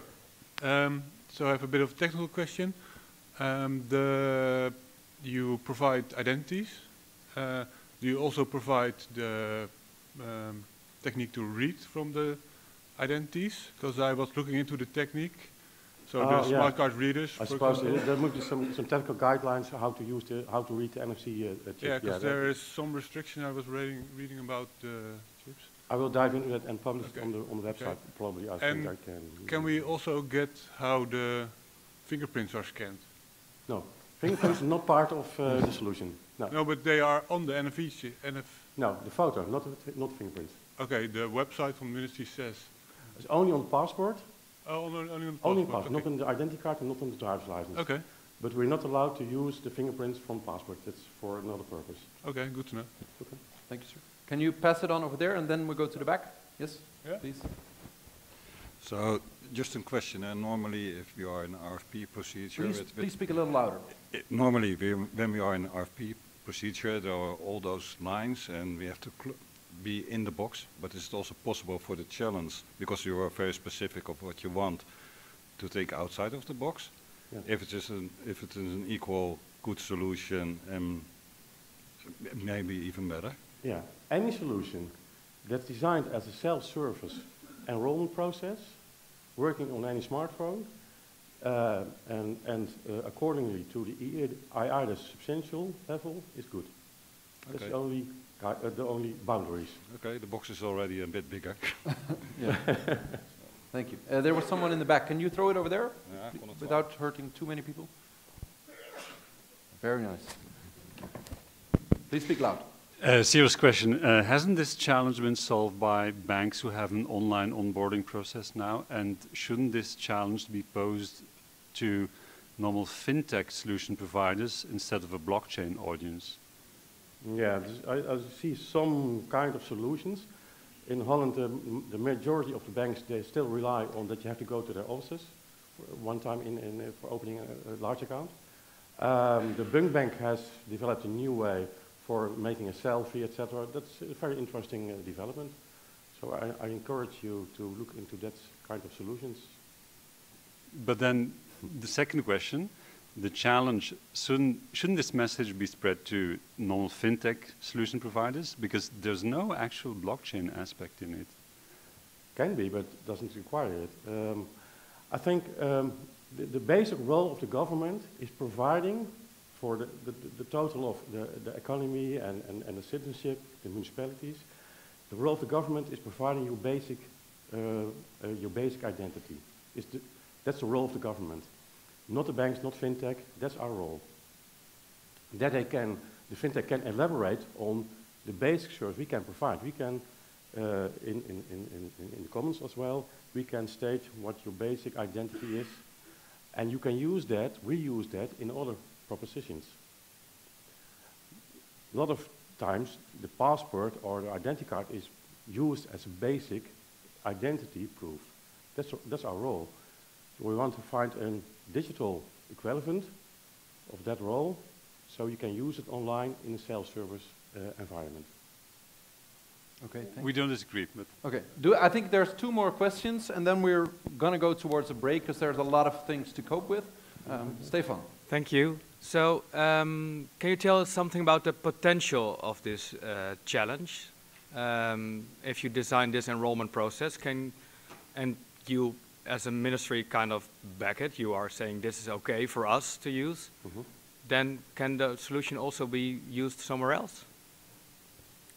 Uh, now, first of all, um, our, uh, our current situation is that all our citizens, they have the 13.5 million people, they use uh, a username, a password as a login mechanism. That we want to change as soon as possible to a higher level.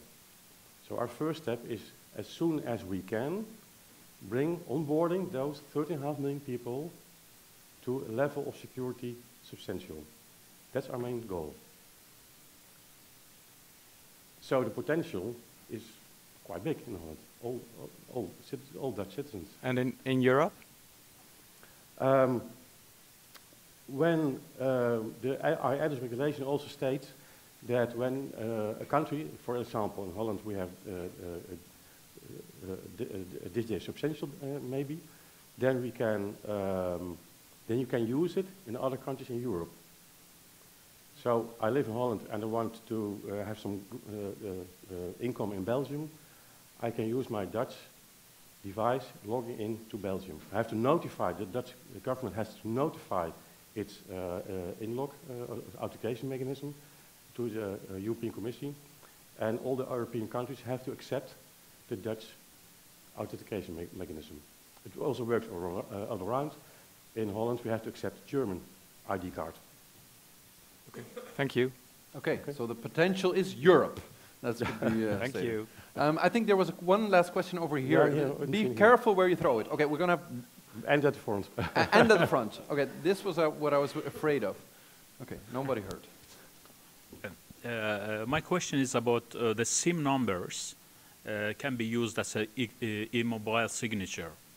And is it possible uh, to issue the SIM numbers not by mobile operators, but one organization, maybe you, DigiD, that have the capacity to uh, identify a person beforehand, then the same, the same SIM number is attached to uh, mobile operators' uh, services. Mhm. So uh, then we will have uh, the hardware in our cell phone, which is basically we have, but we will uh, modify its functionality bit, because eventually we need to have somehow relationship with uh, uh, with uh, the hardware Yeah. or something like Yeah. this. Is it possible to produce it by one organization with the embedded capacity of is e-mobile signature? Yeah.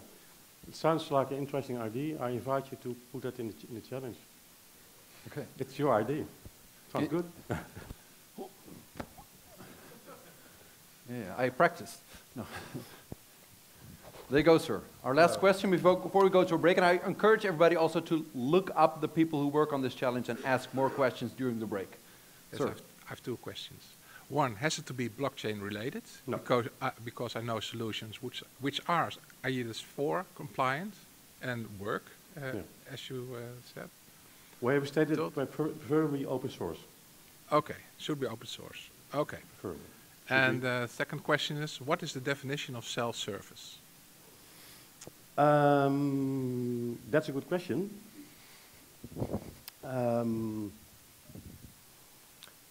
self-service, in a way, um, um, that someone can be. Uh, uh, uh, the first obvious one is that I can do it by myself, but it's also allowed that someone helps me. Uh, my mother is, is uh, 88. Can I help her in the enrollment? I think so, yes. But how do you make sure that she was not put under pressure uh, with a gun in her head to do the enrollment? So that's uh, difficult. But in, in the home situation, or maybe at a, a, a library, people want to, to help over there, that's also possible.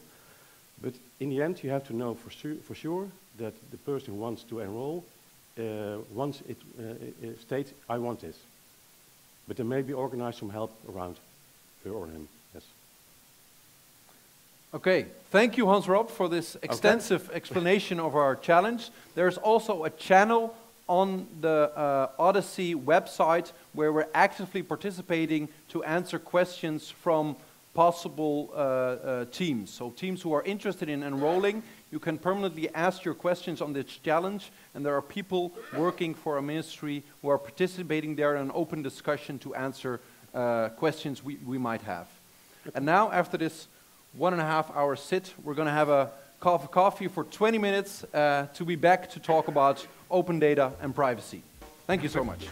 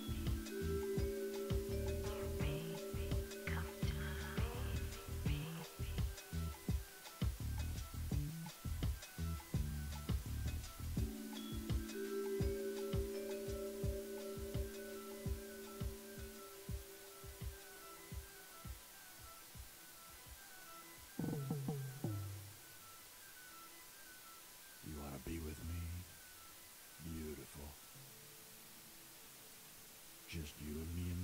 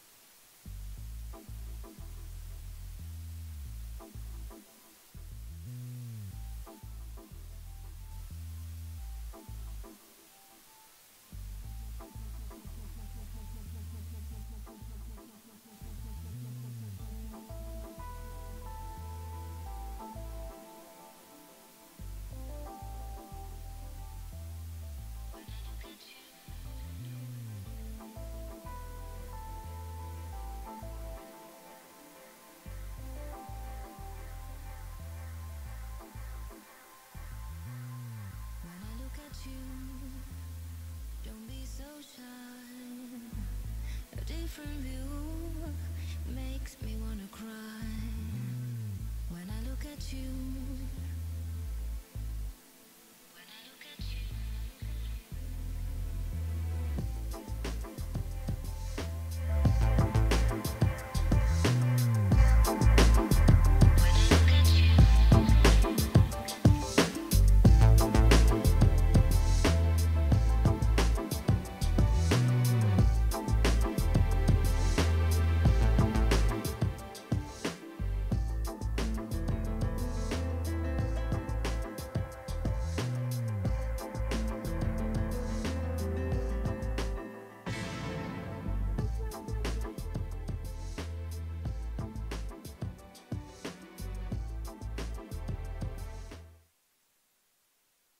Ladies and gentlemen, please take your seats. Thank you.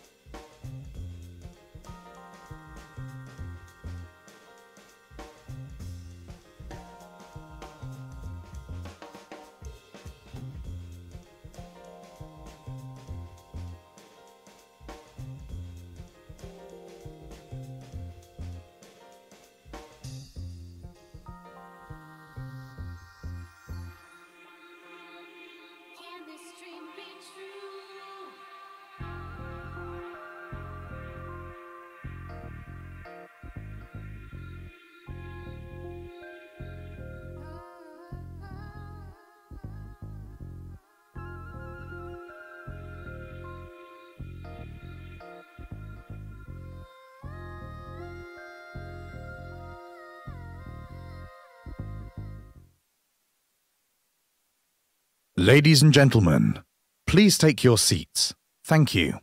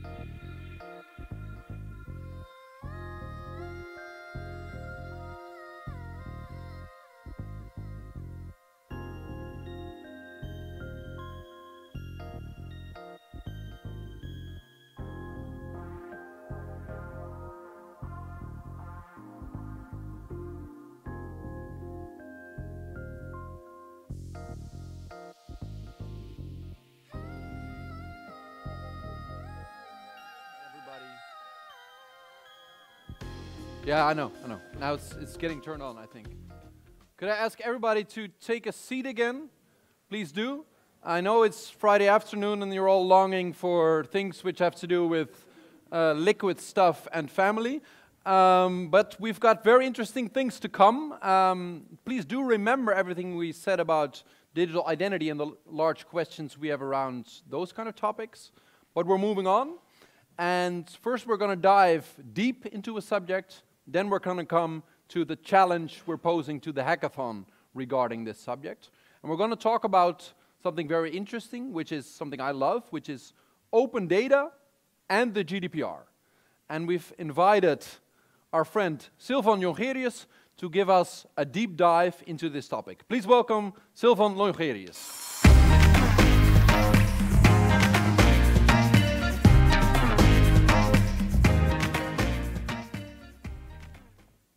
Good afternoon. Um, i am here to talk about open data data sharing under the GDPR, and this is one of the uh, subjects that we deal with quite a bit um, for TechGDPR, which is a boutique consultancy that I run in Berlin. Um, we do uh, actually only GDPR for deep tech. Now, one of the recent things that we worked on is a privacy report or a GDPR compliance report for a company called Zcash cryptocurrency, and I thought it was interesting to highlight. Also because that was uh, last week featured on Forbes, uh, something I'm slightly proud of. Um, and the other thing that I'm involved in, and you may recognize this gentleman who happens to be the Secretary of State of this very ministry. Um, so the other thing I'm, I'm, involved in is BearChain, is connecting uh, blockchain companies in Berlin and promoting that outside of Berlin. Um, and, and, the interesting thing is, as uh, Rutger men mentioned this morning, that um, that Raymond Knops was also at the, uh, the hackathon last, last year. So that kind of like completes the circle for me, and I thought it was worth mentioning. Um, but of course, I'm here to, to talk about open data and data sharing under the GDPR. Now, the first thing that you should probably realize is that the regulators, uh, with regard to GDPR, have a very um, almost extreme point of view. So the European, European Data Protection Supervisor uh, said in 2017 that there might well be a market for personal data, just like there is tragically a market for live human organs, but it does not mean we can or should give that market the blessing of legislation. And I think that puts you in the right mindset, right? Um, what is, what is the whole thing about personal data and should we be monetizing this? Um, and also with the GDPR specifically, there are very harsh fines for, for violations of it. So just to recap, you, you probably all heard about this, but there's up to 20 million euro fine or 4% of your annual worldwide group turnover, uh, whichever is higher. So for Google, that can definitely go up, and Google was fined two weeks ago with uh, 50 million euros. Um, but there, there are other aspects to it, and one of them is the mandatory disclosure, which can certainly harm your reputation. And you can also receive an order to stop processing data and for a data company, that is a company death sentence. Uh, the GDPR is built on, on a number of basic principles, uh, lawfulness, fairness, and transparency. Uh, you need to be handling data in a lawful way, in a fair way, in a transparent way, uh, with a limited purpose. So it is not no longer possible to just keep collecting data for whatever purpose and figure out what you do with it later, which was very popular a year, like, like eight or 10 years ago um, it's, it's very important to only collect the data that you need for a specific purpose. Um, so data minimization. It needs to be accurate data. You need to have a limitation on the storage period. You can't just keep it forever until you figure out what you want to do with it. Um, and the data needs to be um, stored or processed uh, under the principle of integrity and confidentiality. And you're going to be held accountable for it if you're, if you're collecting data, right? And the whole GDPR is a risk-based approach. That means there are no specific um, requirements such as use 256-bit encryption or, or store it for three years, but for every processing activity that, that you or a company involves in, they need to, need to think about, okay, what is actually the, um, the risk of processing this data and what technical and organizational measures such as encryption and a lock on the door do you actually use. So there's a lot of responsibility uh, if you're processing data. The scope of the GDPR is data of natural persons within the EU.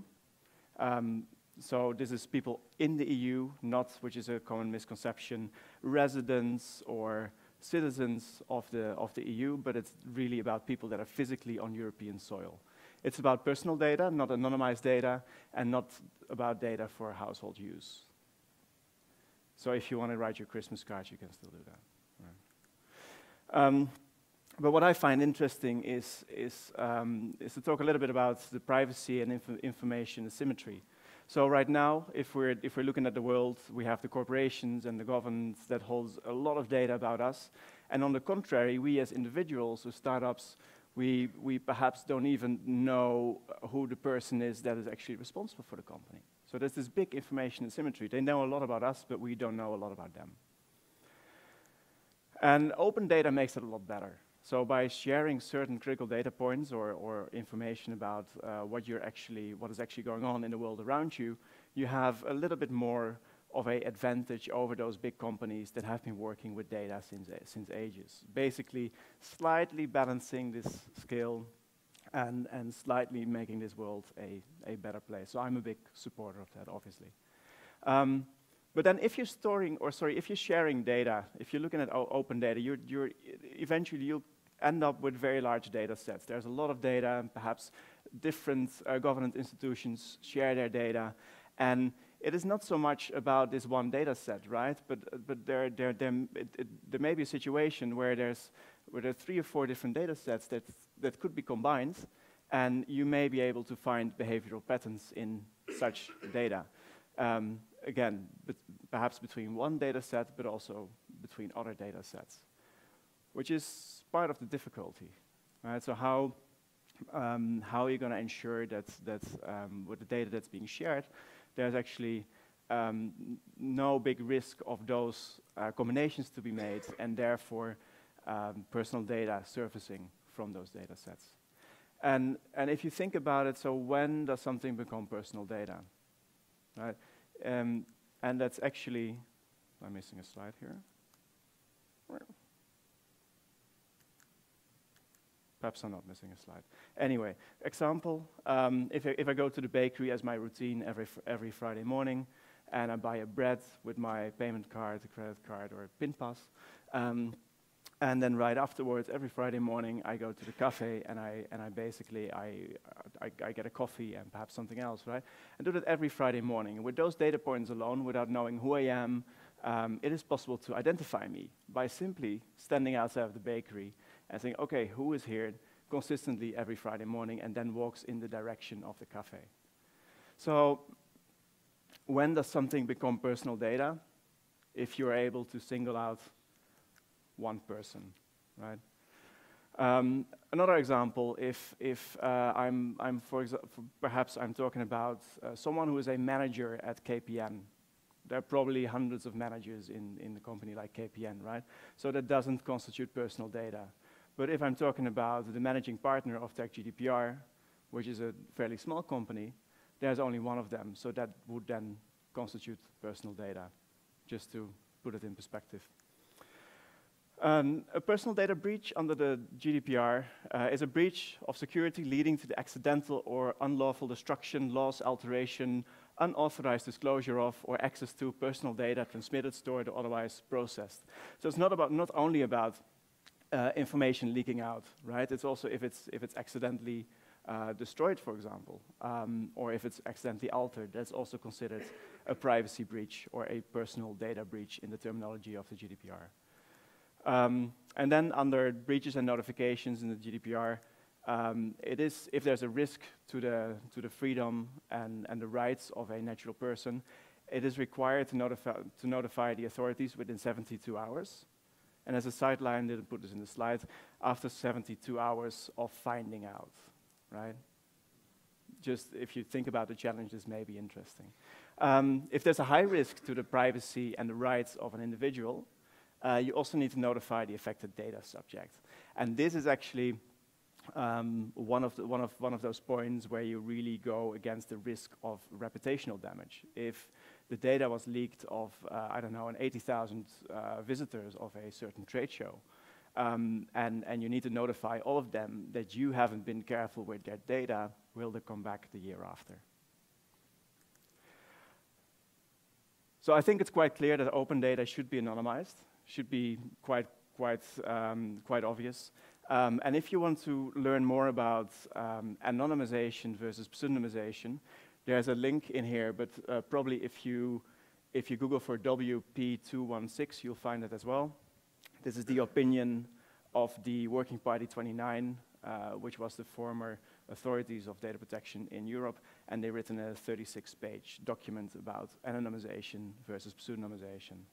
What it also indicates is that that barrier is very high. It is not very easy to, um, to truly anonymize data because you may always have some of these data points left that can be recombined. And even though de-anonymization is, is very, very illegal and punish punishable with big fines under the GDPR, if you have the risk of this happening, you still want to be very, very careful with it. Um, so a little bit about personal data and blockchain. I think uh, one of the main things that you should think about, well, uh, the right to erasure and rectification, which probably everyone, especially in the area of privacy and blockchain, has, has heard of, um, is very, very difficult in a, on an um, immutable ledger. So to start with, I would really think about um, or, or basically ensure not to store any personal data on a blockchain directly. But um, if it's not personal data directly or unencrypted, then what about encrypted on-chain personal data? And also, that is where the GDPR or the regulators see encryption as a technical measure to protect data, but it's not a way of moving it out of scope of the GDPR. So this is still in scope of, of the GDPR. It still needs to be handled as personal data, and therefore you also need to be able to let people exercise this right to be forgotten, right? Um, and encryption can be broken in the future, quantum computing is coming up, so all these kind of considerations, you don't want to have these kind of things on an immutable ledger. But what about hashes? That's one-way encryption. I don't think I have to explain this to, to this audience, but, but if there is a, um, a hash stored on the, on, the, on the blockchain, that may also give some pointers to information and behavioral patterns.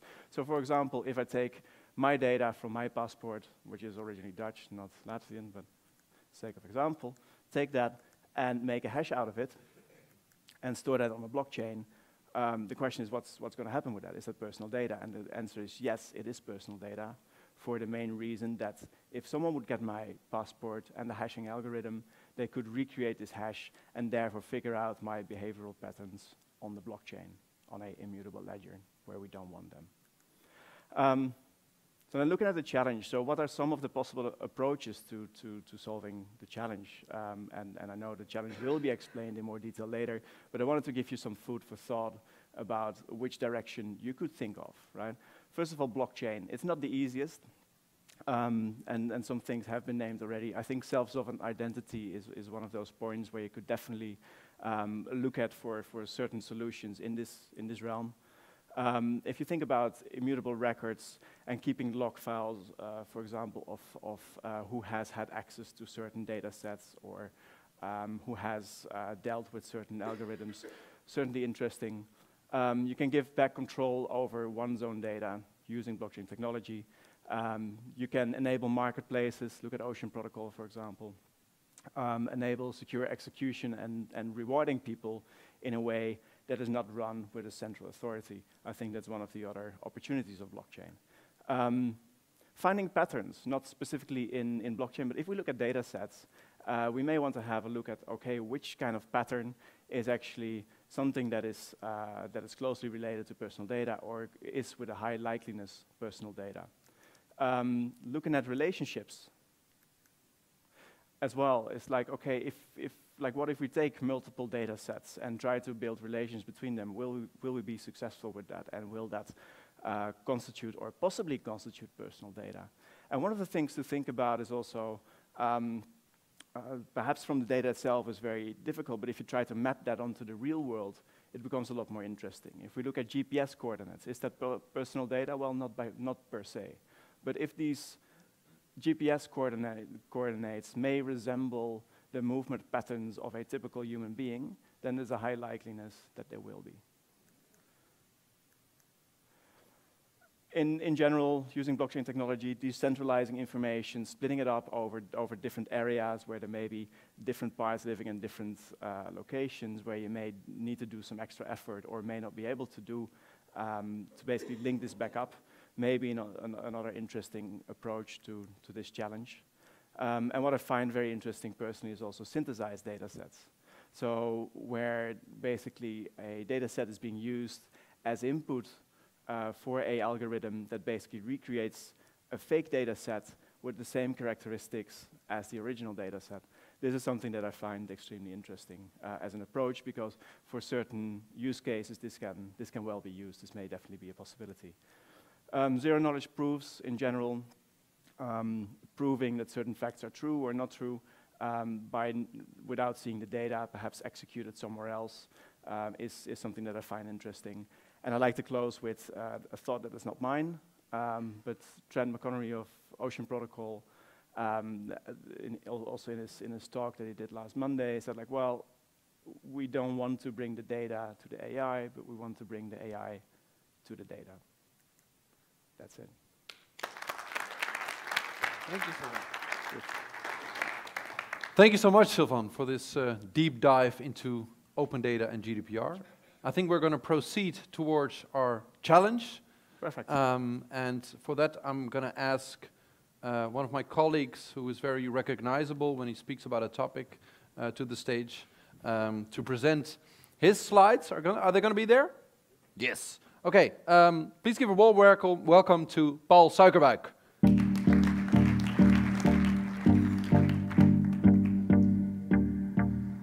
Thank you very much. Um, I'm proud to be here, and um, it, it's great to, to share my challenge uh, with you, although it's not my challenge, it's our challenge, because uh, we're heading for a future where more data will become available of all of us, and a combination of data uh, will be uh, a, a, real problem. As been pointed out by Silvan uh, already, thank you very much for your introduction. It was uh, fruitful for, for me to go on with. Um, there's a lot of text on the side. I will make it somewhat simpler. Uh, and the simple thing is that you, as, as a government organization, uh, we are very much in uh, collecting data and sharing this data as open data. Having more open data uh, means that this data can also be combined in all kinds of ways. And during the, the 10 years that I've been working on uh, making more data available as open data. Uh, many times I came across the fact that a government organization said, uh, we are afraid of publishing this information because we are afraid of sharing uh, some personal information and that we have a privacy breach and we don't want to do that. And even with the coming of the GDPR, this knowledge became even stronger. The urge of doing this very good became stronger. So if we can point out the challenge very in a very simple uh, perspective, then the fact is that uh, adding data to the open community might bring you uh, a, a, challenge in, in, in, the fact that it might uh, uncover personal information. So the challenge is there that if you add, I, I foresee a system or a service or a box or something which is up to you to invent or uh, with your innovative ideas, ideas to come up with, is a system or something that you put in your memory stick with a certain data set on it, and then there's a, a huge lamp going, uh, flashlight, which is going red uh, when there's a risk of a privacy breach, and it stays green when it's safe to publish the data you're uh, willing to publish. Before you can do this, you have to arrange a couple of things. Um, for instance, uh, you have to take all these data sets, and this data set for itself might not have a conflict uh, concerning GDPR. It might be safe to publish this data set. And this other data set, data set 2, might also be safe to be published. And a lot of other data sets might, might also be safe in itself to be published. But when it comes to a combination, when it's coming together, and some sort of magic happens, it might lead to a, a breach of privacy. You might uncover a personal detail. It might uncover personal information. And that's something we want to avoid. Um, combining data sets means connecting dots. In each data set, you have to find a specific point where you can connect it to another data set. The battery is getting low. I think we have to go to the, to the drinks because I have to push the button very hard. Okay, so you find in dataset 1 an element X, and in dataset 2 you find the same, same sort of element. Uh, find the connection uh, between those two two datasets, and you can make a combination of those two datasets, and you create a new dataset. That's something you have to. This is old technology. This is not new. I everyone can do this already. Been done for years with dataset techno database technologies, ETL technologies, so it's not new. But where it comes new technology is when it comes to, and that's also been uh, mentioned already by Silvan, when it comes to deep learning and when it comes to AI and it comes to pattern recognition. And there you get into risks we're unknown yet of. So if these patterns are going to match to each other, you might also be able to combine data sets in a way which was unexpected before.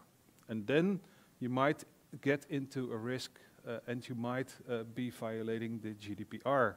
And as Silvan pointed out, that's something you don't want to do. So what I'm really looking forward to is that from your perspective as hackers, as developers, as whoever is uh, uh smart or intelligent or uh, able to work with these new technologies, is look into these data sets and see if you can find uh, uh, the, the, more intelligent things like deep learning, artificial and pattern recognition to, uh, to create a new way of combining data sets and see if this combination of data sets will be uh, a breach of your privacy. So you have to be careful with this pattern recognition. We have to be careful if it's just a correla correlation or a causality. Because on the fact of uh, correlations, there's a lot of stuff already been done. This is a relation between US spending on science, space, and technology, and suicides by hanging, strangulation, suffocation.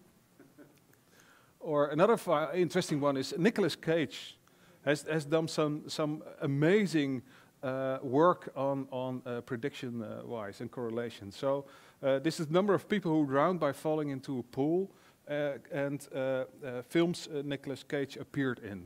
Nice correlation. And the last one I want to show you because I loved it. I love cheese. Sorry, I love cheese. I'm Dutch. I love cheese. So per capita cheese consumption compared to the number of people who died by becoming tangled in their bed sheets. Take care that you're not stepping into when you're going to into pattern recognition and smart kinds of uh, uh, uh, combination of data sets, that it isn't causality and it's not a correlation. So be careful. Another example where uh, uh, the, the umbrage or the, the, uncovering of personal data might, might come into uh, space is th this is a nice map which has been made by a news agency and it's, it's pointing out the, the amount of burglaries, burglars uh, per uh, thousand inhabitants. And if you go over the with the mouse over it, then you can see uh, you get more information. Yeah, thank you. This will not uncover personal information because of the fact it's per thousand in, uh, inhabitants. So here you're safe. But if this, if this would have been done on, on a postcode, there could have been an uncovering of uh, a personal uh, information, some sort of, because some areas of post postal codes are very small. And it might be the case that in some uh, very small post postal code area, there might be a burglary, and then you can find, okay, in that specific house, uh, someone has been uh, robbed. So it comes very close to you uh, when you're getting into uh, these kinds of, uh, sharing this kind of information. Um, so one of the challenges is combining this, the data sets. But the other challenge is when will it be personal information? And also there, there are some uh, things we have to look into. For instance, uh, is the combination of first name, a number, and the postal code, is that personal information? Someone, is this personal information? Yes or no? Yes. Yes, okay, because it's one specific house and you know the first name of one, uh, someone living there. Uh, this one, first name, last name, date of birth, personal information. That depends. That depends, because if there are uh, more uh, than just one people who are having this combination, then uh, it might be not personal. Because and and uh, our Central Bureau of Statistics is having some rules that is the number if, if the number of uh, occurrences of this combination is less than 10, it's personal. But if it's more, then they say it's uh, it's not personal information. So I'm very happy that uh, uh, people from the Central Bureau of Stati- Statistics will also be uh, at the hackathon. So during the hackathon, you will be able to ask with uh, and, and, and challenge them also. Uh, is this combination of uh, information a, a, a possible uh, privacy breach, yes or no? Um, so, go on. Another example. Is this personal information? Your so, so yes. this one, last name, postal code. Is that personal information? Yes. No. Yes. No. Depends on which village. Yes. The, the, po- the, the, the point is that with just the last name, you have more than one people. You have a family, eh, so more inhabitants. So it might be also the risk of uncovering uh, personal information. So, done some exercises on this. Oh well, the, the last, uh, the first name and the postal code, personal information. Yes, no. No, I think not. But from, from your answers, you already noticed that it's not always very clear which combination of information is personal, yes or no. Uh, so, but so that's the other thing you have to look into when you're going into this into this challenge. Um, what do we have available during the hackathon for you to support you uh, in developing? Um, at first, I'm very proud, uh, yes, that uh, I can announce that we have the Central Bureau of Statistics. We are still selecting people from the from the Central Bureau of Statistics. Uh, so I'm not quite sure who is will be there, but I'm quite sure there will be people who are really uh, knowledgeable in the fact that combining of data sets on deep learning and, and smart technologies will be there. Uh, there will be someone from uh, with uh, legal expertise from the Ministry of Justice. Um, and I'm uh, I'm still uh, talking to a lot of people uh, to uh, to share their knowledge also uh, with, and I'm there. Might be helpful also. What do we expect? At least we do expect an open service or system or whatever, a, a, bla- a black box. It, it well, a black box, a glass box. You, we have to, you should be able to look into it. um, preloaded with a lot of open government information because you have to make the comparison between other data sets. The ability to load data to be tested, um, and a notification of uh, privacy uh, breaches. So if you come to the hackathon, please take uh, some sort of alert sy- alerting system. It might be a huge horn or something, just to notify everyone of the fact that you found a privacy breach. And of course, uh, I'm, I'm from everything which is open, so of course I would uh, urge you to work on an open, uh, open source solution. Look- I'm really looking forward to work with you during the hackathon. Uh, I'm really looking forward to the, the, the solutions coming from this.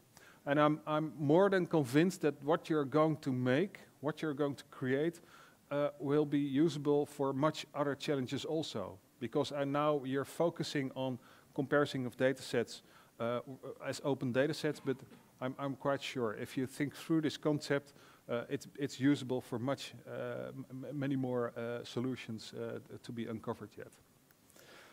Um, well, the last slide, Wouter, you already mentioned that I had one minute, five minutes ago. So we're looking for creativity, fun, cooperation, and success.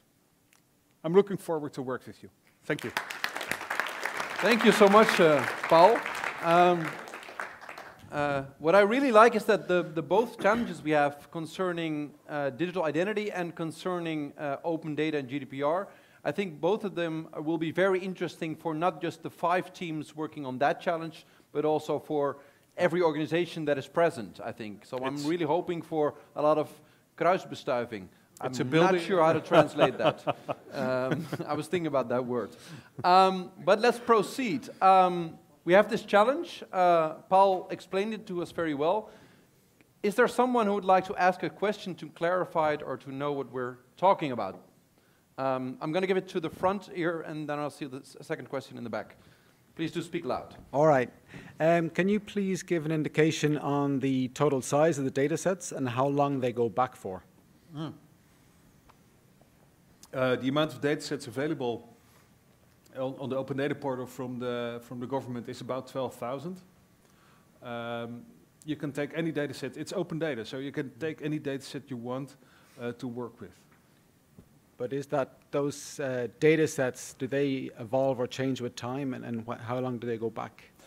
Uh, that depends on the on the data set. Uh, some data sets are uh, are older, sometimes are uh, uh, real-time data. Um, so it's it's it's open data. So everything which is there, for instance, there's there's information about traffic, there's information about public uh, transport, there's information about a lot of st- statistical information. I think almost five to six thousand uh, data sets are, are are statistical data sets. Okay, thank you. Um, this is going to be challenging. Okay. Uh,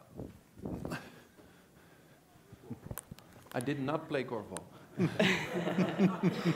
Okay, thank you. Uh, yeah, so my name is Ibi Benali and I work for SingularityNet. Uh, so we develop uh, AI, and what I was wondering about this challenge, are people allowed to use other data sets outside of this open government data? I'm going to repeat this to make it very loud and clear. The question was if it's allowed to use other data sets than that were provided by the governmental open data portal. Yes, of course you're allowed to do so. Although it's a little bit out of the scope of the, uh, of the challenge. And I, I can explain you why. Because if, um, if you really want to get into personal information, it's very easy to get on the internet and to make a combination of data sets and, and other information where you can uncover um, uh, uh, personal details about someone. But the challenge the, the, basic of the challenge is that, that I want to convince a, a, a government organization who is, go, is willing to share information as open data that it's safe for them to do so. Yeah? Right, but let's say that I'm using these open government data sets Yeah. and I'm also scraping Facebook data and LinkedIn data. Yeah. I probably for sure can find out exactly with who these people are. Yeah. Yes. O- okay. Thank you. Um, are there more? I see a lot of hands. Can, can you throw it towards our gentleman on the left of the hall? Uh, gently. I hope it's not a difficult question So, from uh, Iqbal. uh, no, no, it's very simple. Uh, is there any data set that describes all, including open data and closed data, that collected but by government organizations? Then we can easily answer the last uh, point that you mentioned, that the main target is to, ma- to open as much open data as possible, to convince the government organizations that open data. Yeah. The, the, the, the, the difficult point you address here is the uh, information on the not open data. The open data portal, data.overheid.nl, is, is sharing a lot of open data. And you can read it, it, it- has an API, and you can take all the information from it as, you- as you want in any format, JSON, uh, whatever. Uh, but the problem is that you, we don't have an, an, an, an, total overview of closed data. There is an ambition to share this data also, uh, to be open what we're not going to be make open, uh, but that's not been realized yet. Currently, we only have an overview of the open data sets, and that's through o- data.overheid.nl. Thank you. Um, I think this gentleman over here, uh, please be careful with throwing the microphone. Very well, very well. Gerard. yeah. Um, blockchains work very well uh, with reward systems. So I was thinking, uh, would it be possible somewhere to have a reward system? So if you would detect a privacy breach or if you do some work to, to do something in here, that somebody gets a reward. I'm, I'm going to repeat this. Um, I think the question is that uh, with blockchain technology, there's very interesting aspects with rewarding people who have worked on interesting solutions and therefore providing an incentive to work on uh, interesting open data breaches. Uh, Mhm. Yes. That's that's nice idea. I, w- I, I would really recommend you to take this into the challenge and into the hackathon, uh, because I did never thought of such a solution yet. Uh, so uh, please take it to Groningen and uh, and uh, build it into your uh, solution. Yes. Okay. Okay. Thank you so much. Are there more hands? I see one more hand over here and one more hand in the front. And let's say let's go to three more questions because we also need to proceed. You can throw it to Silvan if. Hello. Yep. I'm I'm wondering, will you be providing test data with and without breaches? There's uh, there's a lot of test data. Uh, actually, st- even stronger. There's a lot of open data which you can use already. So the test data is is already there. We don't need to supply additional test data because the question is about which open data, and the addition of which open data will uncover uh, personal information. So all the data you need is already there as open data. In in which case you'll have a big problem, right? That's a good question. Yeah. Inter- very int- Can you give I, I think you come to Groningen. Great. Can you give it to the gentleman in the front? Yes, I wondered if there's a taxonomy of the meaning of the attributes. The, the question Yeah. was if there's a Of all the techno- open data. taxonomy of the meaning of the attributes in the data sets, I think. Um, that, that's there's a, there's an easy answer and there's a difficult answer. I'm going to I'm trying to give you both. Uh, the simple answer to start with is that all information on uh, data.overheid.nl is foreseen with metadata. There's also a standard for this metadata, DCAT, DCAT AP, which is a very open protocol, and things like that. The problem with this DCAT standard, standard as, as metadata is that it's only describing and only uh, focusing on the findability of the data and not enough on the structure of the data. So if you, if you dive into this uh, open data on data.overheid.nl, you will notice that you will find a lot of information about the findability of these data sets, but you will sometimes really have to look into the data to find the real metadata about the description of the columns and the files and things like that.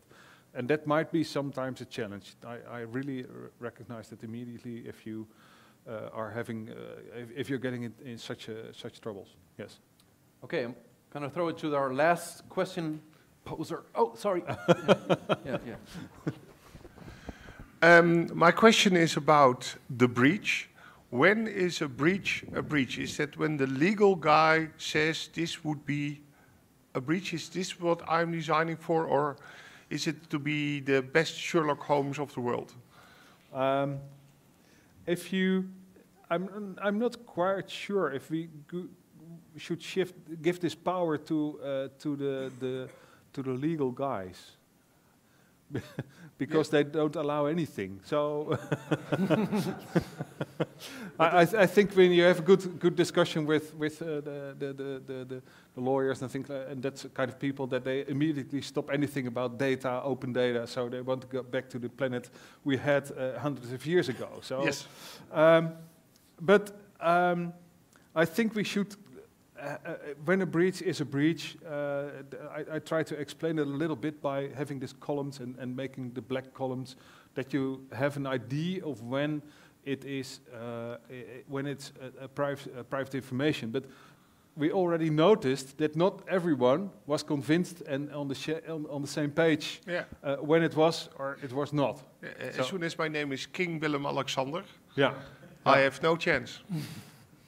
You're you're totally clueless. Yes. Yeah, I know, but but th- then everybody knows who it is because. yeah, uh, yeah, uh, yeah, yeah, yeah, yeah. Uh, I'm more than happy that we are uh, accompa- accompanied by uh, the Ministry of, uh, uh, of Justice, uh, where, where we get legal expertise from. And uh, I ex- expect also that we get some uh, legal expertise from the Central Bureau of Statistics. I hope they will join us also on this subject. So I hope we can work that out uh, during the hackathon uh, also, because that's very dependent on when the light is red or green. Yes. So the, the, when I do my challenge, I'm uh, on the one side doing the pattern reckoning and the data, and on Yeah. the other sides, exploring what would be a good definition of a breach. That's the Sure, yeah. And, and okay. that, that's why I, I try to address both of the aspects uh, during my presentation, because when it comes together, then you know when the light is red or green. Yeah, thank you. Thank you so much for all your attention and questions. um, I think it's interesting to note that we're, on the one hand, giving all the legal knowledge we're having now to this ecosystem of the hackathon, but we're also accepting that there are challenges towards open data and GDPR we might not have thought about. Um, that is something we can accept, that we, sh- we want to find out. Um, thank you so much, Paul. Um, we're moving on. Uh, it's also very open to have people asking questions to public officials about what they're working on every day. So um, that's very interesting to experience. We're going to move on to the next thing, which is something new, I think. It is the ecosystem of this Odyssey hackathon, which is posing a challenge by itself, which is going to be presented by Rutger.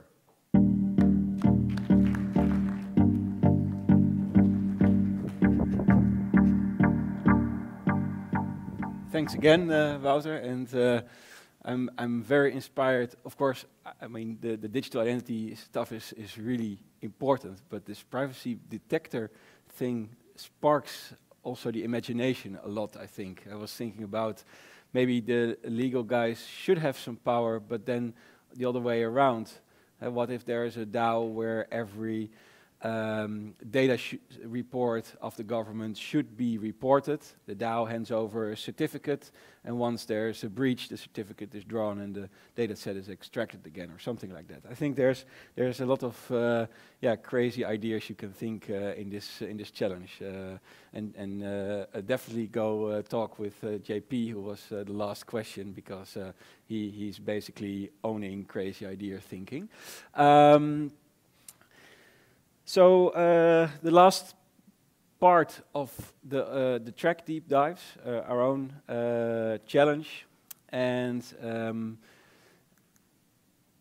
when we started to think of the vision uh, of commonization of creating open digital public infrastructure, we we saw a lot of opportunities uh, to create new markets where, where people are able to help out in the best possible way, to reinvent the way we collaborate as humans, the, the way we, the, we reinvent massive collaboration to solve problems, and specifically problems that no one owns by themselves, right? As mentioned in the trailer. But you encounter a problem when funding the digital commons because they belong to no one, right? Um, but then they say, oh, we have ICOs, right? But then uh, turns out that um, yeah, the, the, the, the incentives, the interest of all the players involved do not really align. So you can call it a utility token, but that might not be the solution always. Perfect. I am dying out here. How much? One dollar worth of lemon coin, which is approximately a thousand lemon coins. whoa, whoa, whoa, whoa. Get that centralized currency out of my face. This is 2018. I only accept cryptocurrency here, preferably lemon coin. I don't have whatever a lemon coin is. Well, lemon coin's my utility token. It doesn't have a lot of utility yet, but we're working on it. One day it might go to a dollar.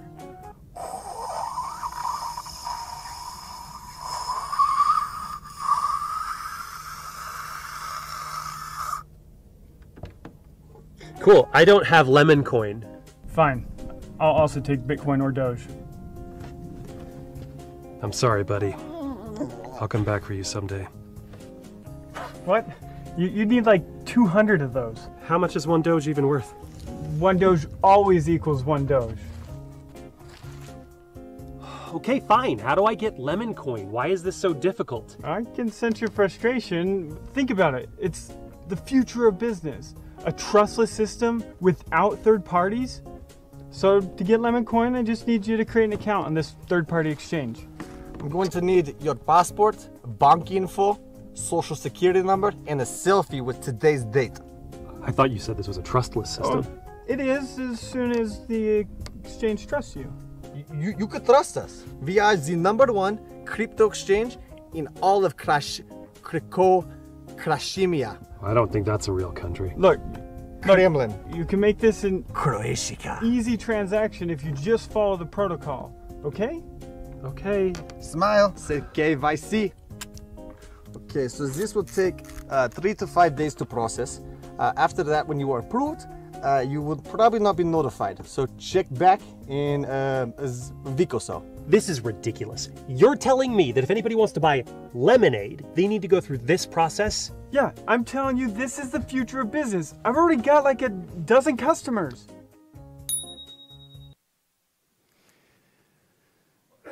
Right. So when funding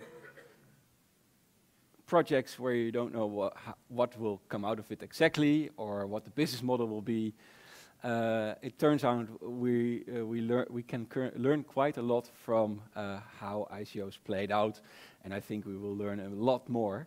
Um, but where do we come from? Uh, we come from the VC model, basically, to fund startups. Um, course, fueled largely by the way uh, Silicon Valley was doing uh, business. Um, but that doesn't really work either for these kinds of projects. Imagine you go to a venture capitalist and you say, will you please invest in this open source project which has no owner, everybody can build on top of it and uh, everybody can use it uh, without my permission. Crickets. So also the VC wants ownership, right? Um, if we look at the startup model, the VC makes money in two ways. Either there's a huge humongous uh, amount of profit and he stays in there, or the company gets sold. That's basically the two flavors you have. And this is also, uh, you have to invest in the equity of the startup. So that's where all the risk is, right? How many uh, of the startups fail? Well, most of them. So there are a couple of problems, and they are difficult to solve as well when we talk about funding the digital commons and open digital public infrastructure.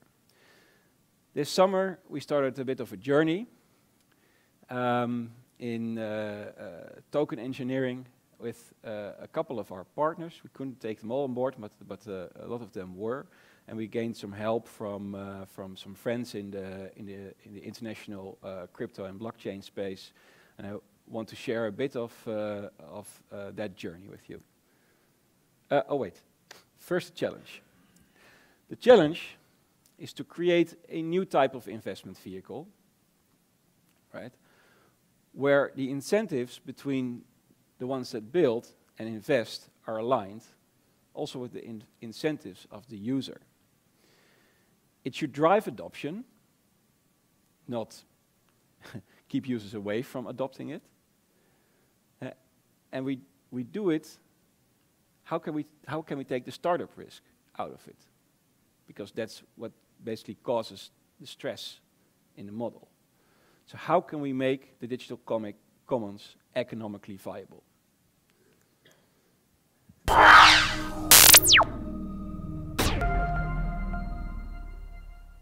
Look at this space as a curiosity look at the blockchain space, the crypto space, as something that wants to prove a new paradigm in the world. It's not something that has to be production ready. It's something that has to make people rethink social values, money, collaborative commons. It's a big experiment, mm -hmm. and it's where like too much technology converges with sociology, philosophy, ethics, communities, and it will give the rise to what we call the collaborative commons, where people start managing resources together rather than trying to own all the resources. Well, it's about looking at how to create infrastructure to create ecosystems in this space that would launch and nurture new ideas, projects, all the way through to market. A token where you say, What we will try to do is create an environment where we can actually create indeed that new society. And it doesn't stop here in the Netherlands. It, it will go beyond the borders. It will become an international challenge. But and that is also why it's so great that all the original thinkers are around the table. I think this whole ecosystem is about transparency and being honest in uh, wanting to make the world a better place. So that's why it's important to have everybody in the room. Typically, when you've got meetings like this, you're shopping for momentum. They've got momentum, they've got the crowd, they've got all these people that want it to happen. It's really a machine design question. So this is not about us, it's about enabling the ecosystem to grow to that next level. Yes, the next adventure. This is really like intellectually a, a next step, or how can we, let's say, find out a way to crowdfund innovation uh, in a responsible manner and keep the independence of the ecosystem. The vision is very clear and people want it to happen, but you want it to happen in a prudent, regulated way. I was here to uh, to see where where we stand, where we can contribute. I think for us it's really important to see if we can support startups in the blockchain domain and what holds them back, and try to remove barriers. Collaborating with the regulators and the supervisors to see uh, if we can set up a system which is uh, which is of high quality, basically certified. people of the blockchain world thinking about how to create an ecosystem that supports the themes. People who have dreams and are building them in hackathon, or that people who want to bet on dreams get actually some return. It's nothing like this has ever really been done before. It's a, it's a new type of finance and it's a new type of economic organization. So as we design these governance systems, we have to think ahead and, and also look at history and, and, and work out you know, which kinds of problems are likely to arise. And what this means is that we need a multi-stakeholder system. So it needs to be something where there is proper governance in place, where investors can come in and, and make their returns, but where you also uh, you know, bring everybody along on the journey with you. But what I find interesting, interesting is how can we combine combine these original thinkers and combine into the mainstream? Because that's what we're talking about right now. We're in this together. It's a global play. And in order to succeed, we need to have maximum inclusion. So we have to have the regulatory stakeholders, the banks, the insurance companies, the governments, and also the crypto people because they have the vision. Uh, you know, it used to be crypto anarchy. Now people understand it has a positive connotation as well. And if we combine those two elements, I think we can definitely build a framework for success. Fixing the mess in the world and fixing the mess in crypto because crypto is a mess. Unlocks. It will be a, a, real challenge to create a new finance model or ecosystem with the Dutch government and with the Dutch banks. Uh, uh, and it will be awesome to do that in the Netherlands. What's going on here in the Netherlands is very unique because uh, DutchChain has pulled together government and industry and the you know startups, education, all of these things kind of talking and working together in a way that haven't seen this level of engagement anywhere else in the world. If you're going to start a movement, you got to have somebody who's going to bring everybody along and get everybody to participate. So imagine you walk in at the hackathon on Friday, and on Monday you present as a winner, and perhaps a couple of weeks, or even if it's a couple of months later, what if your solution not you, your solution, would own hundreds of thousands or even millions of euros to be executed, to be developed, and to be adopted. Because that's what we're going for. So we have sketched, this is a sketch, of a new DAO concept. It has no owners, no shares. It's open source. Two types of certificates at least. You have votes and you have a rev share. There's a set balance between the stakeholders. So, oh, we call them stakeholders, by the way. Um, and there's something special about this balance. Only the investors dilute. We, we flip the coin. right? So that's something else. What is also interesting here is that we cap the multiplier. So in venture capital, the game is different. Because of all the high risk, you want to increase the multiplier as high as you can, which is quite stressful. It's because most of the projects fail. But in this case, you don't invest in the startup. You invest in the open protocol itself.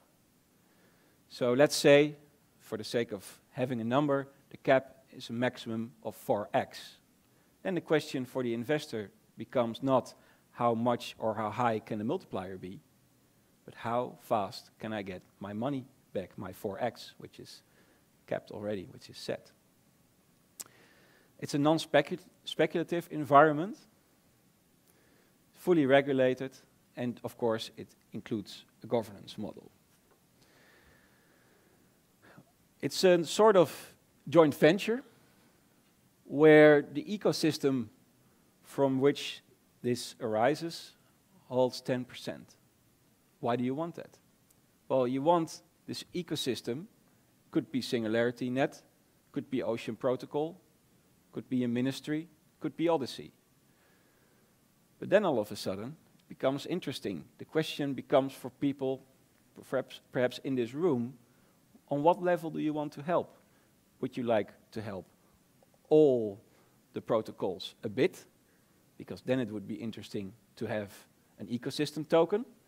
Or do you want to help the project itself? Right? And in case arbitrage needs to be done, eh, because there's some decision making that needs to be done in this joint venture, of course the ecosystem can help out as well. When you look at the rev share, and we're looking, I'm looking uh, especially for uh, open public infrastructure where it's very clear to see what must go from A to B, and it is transaction driven. We could create a model where um, the adoption rate, which is of course very low in the beginning and it gets higher, and the price per transaction, so the higher the adoption, the lower the price per transaction. And it's very easy. If you invest money, you have an upside on the price per transaction. And then you can calculate when you get your money back.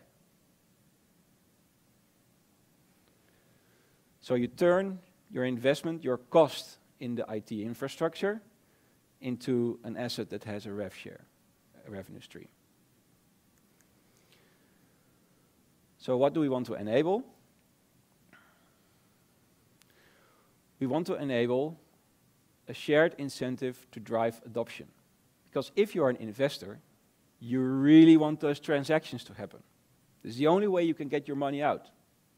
Yeah, or sell your tokens to another investor, but you can't sell your tokens outside of the entity.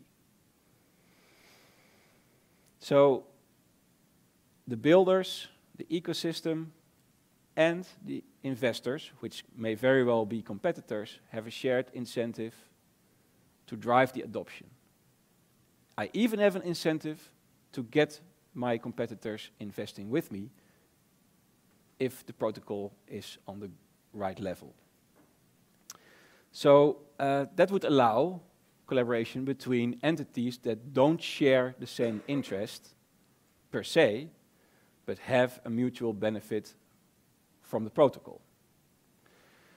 Um, and of course, you want to turn the, the cost uh, to as low as possible. And that means that yeah, kind of work is done, the protocol runs, then the cost should be as low as possible. And that is true because then the adoption is high. All the money was out. Um, well, we have no risk of the startup failure anymore because, of course, this can be forked so if the startup fails, you still have the DAO, you still have the project, you still have the money in, and then the investors and the DAO can look for other builders.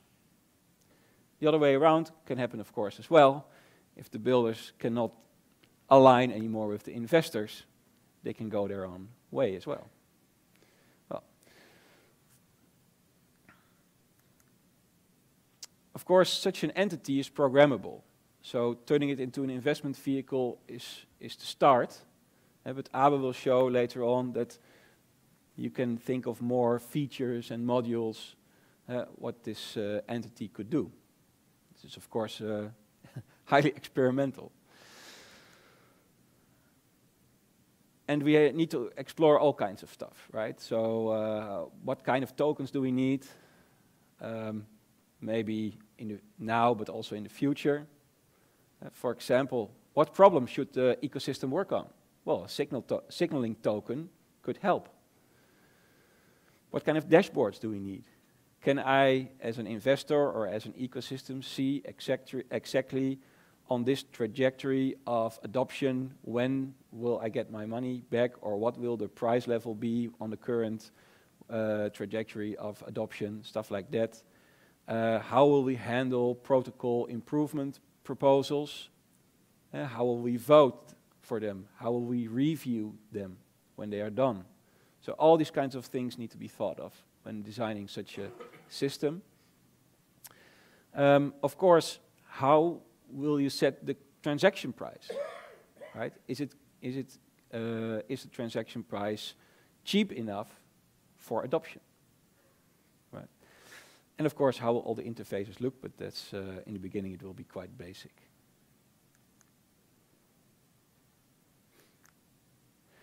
Um, small example of um, what uh, uh what kind of protocol we are looking for and what kind of projects are we looking for to, uh, to, to simulate. Um, the winners of the EU Blockathon we held in uh, Brussels uh, uh, last year, we were lucky enough to, to be able to, to contribute our experience and knowledge in this, in this hackathon. And the winners presented also last Monday on the Tech Deep Dive. They have created a uh, a virtual twin protocol to, uh, to increase the level of, of integrity in the supply chain. So a token is uh, released by the manufacturer, for example, of the Samsung phone that's over lying over there. But for example, you have a phone and you have a virtual twin of the phone. The rule is very simple. If, it, if the phone gets out of the factory, you initiate the token and the logistics party that gets it from the factory only accept the package if he also gets the virtual twin. And the customs have a special green lane for virtual twin packages, but it goes from one party to the other. With the virtual twin token, you can prove that you are the owner of a legitimate product, right? If you go one step further, yeah, one of our challenges is a cargo insurance protocol. It works a bit differently because then if you hold the cargo, you are responsible for it and therefore you can be insured and reinsured. What you can see here is that there are many stakeholders. Uh, so the, the, at the Blockathon we had uh, uh, KLM Cargo, we had DHL, FedEx, we had several manufacturers, we had um, several uh, um, retailers like Alibaba and Amazon, and they all had an interest to make this happen. And when everybody has to pay up, that's when it gets difficult because there's no vehicle for that yet. So this is the type of product where we hope to combine the, the urge to create such an infrastructure with uh, uh, um, the drive to, to get your money back uh, and that you are, you are doing something with competitors, but you can still gain from that. So I invite you to help us uh, explore this, uh, this, uh, this new type of investing. Hopefully we can go beyond the venture capital model. Hopefully we can uh, go beyond the ICO model.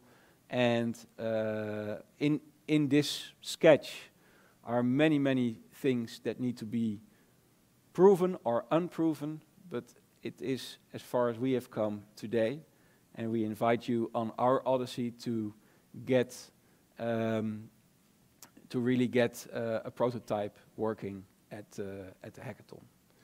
Um, and what are we looking, or, or, how do we want to get to that prototype? That is uh, something which Abe Scholte will will explain after me. But thanks for now.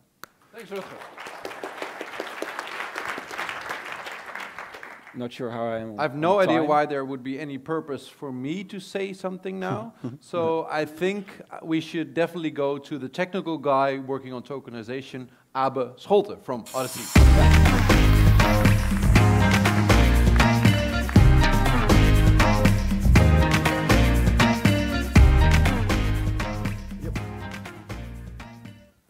So hello everyone, this is my name, Abe Scholte. I'm the tokenization lead at Odyssey. And uh, Rutger has just explained to you the project that we're working on. And in this talk, I would like to explain how we would like to build that at the hackathon. So the goal is to build a prototype for the protocol investment uh, vehicle by creating a DAO, a decentralized autonomous uh, organization, or a tokenized ecosystem. And the word ecosystem here is important because we're trying to solve a problem that is complex, interconnected, uh, there's multi, uh, multiple stakeholders. And so the solution should also be very complex. And this is what Willy Smith talked about also last Monday at the technical deep dive. He's also working with vastly uh, complex problems. Um, and he says you cannot shoot those problems with silver bullets. You have to think about the problem as a whole and think in very complex solutions. So ecosystems, just like this one, a rainforest, they consist of multiple entities. So there's uh, trees, there's smaller plants, animals, insects, bacteria, fungi like mycelium, but also the people that live in and around the forests, that live from those forests. And all of those entities, they exchange and transact with each other, whether it is by water or energy or money. And the funny thing is, is if you want to digitize such an ecosystem, all of those transactions should be converted to tokens.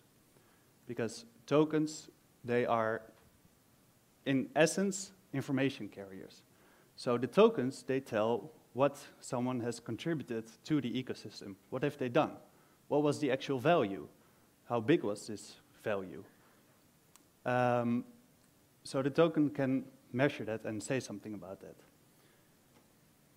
And now also it becomes apparent that if you have this huge ecosystem with multiple stakeholders that transact things, various things, that you should not have one token that solves all.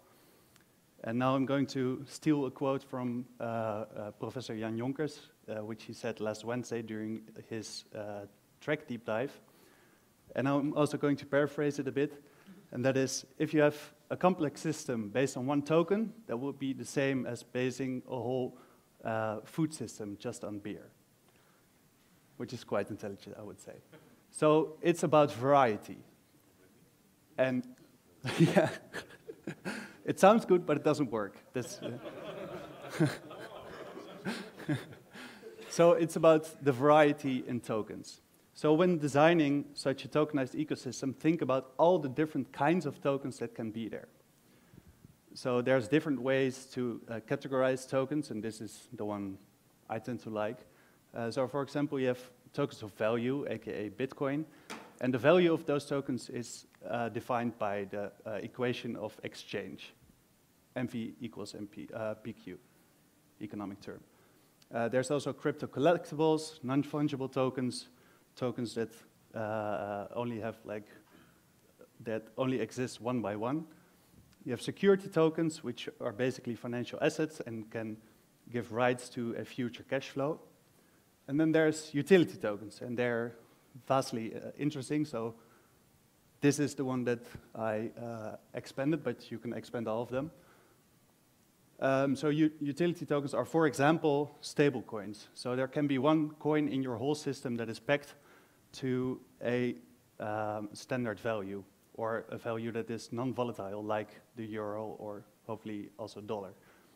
Uh, and this makes this uh, uh, helps the whole ecosystem to become a bit more stable.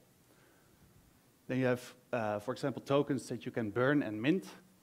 Uh, and this means that the amount of tokens within the whole ecosystem can be controlled.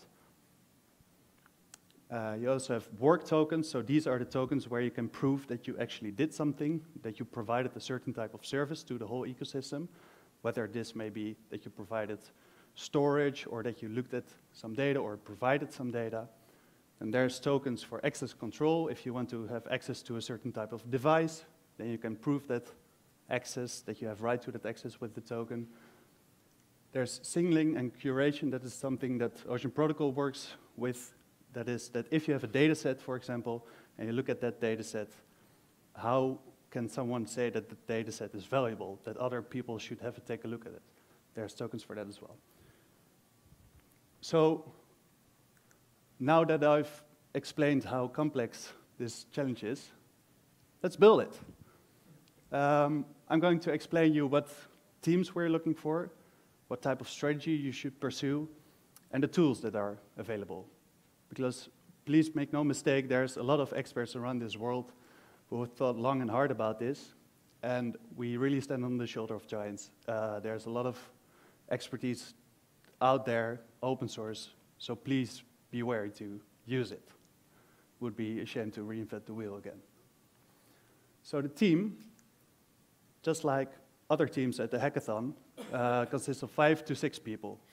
And the com com uh, composition of all the teams should be um, varied. So don't come to the hackathon with just five developers. There should be other people in there as well. Uh, so the team composition should look something like this. I mean, skills in your team should uh, uh, uh, come from these areas. So machine learning, data science, systems engineering, product development, crypto, uh, crypto economics, market design. But be wary, this is a dream team. So it would be very nice if you have all of these skills in your team, but it's also okay if you miss one or two. Um, actually, when I'm going to talk about the strategy that you should pursue, I got this from this book. It's called Token Ecosystem Creation. It's made by one of our partners, Outlier Ventures. And this book basically describes from scratch to end how you should pursue designing a token. So for example, they talk about key deliverables that you think about and how you can design a whole timeline. That you should first uh, start with the discovery phase, design phase, and then a deployment phase.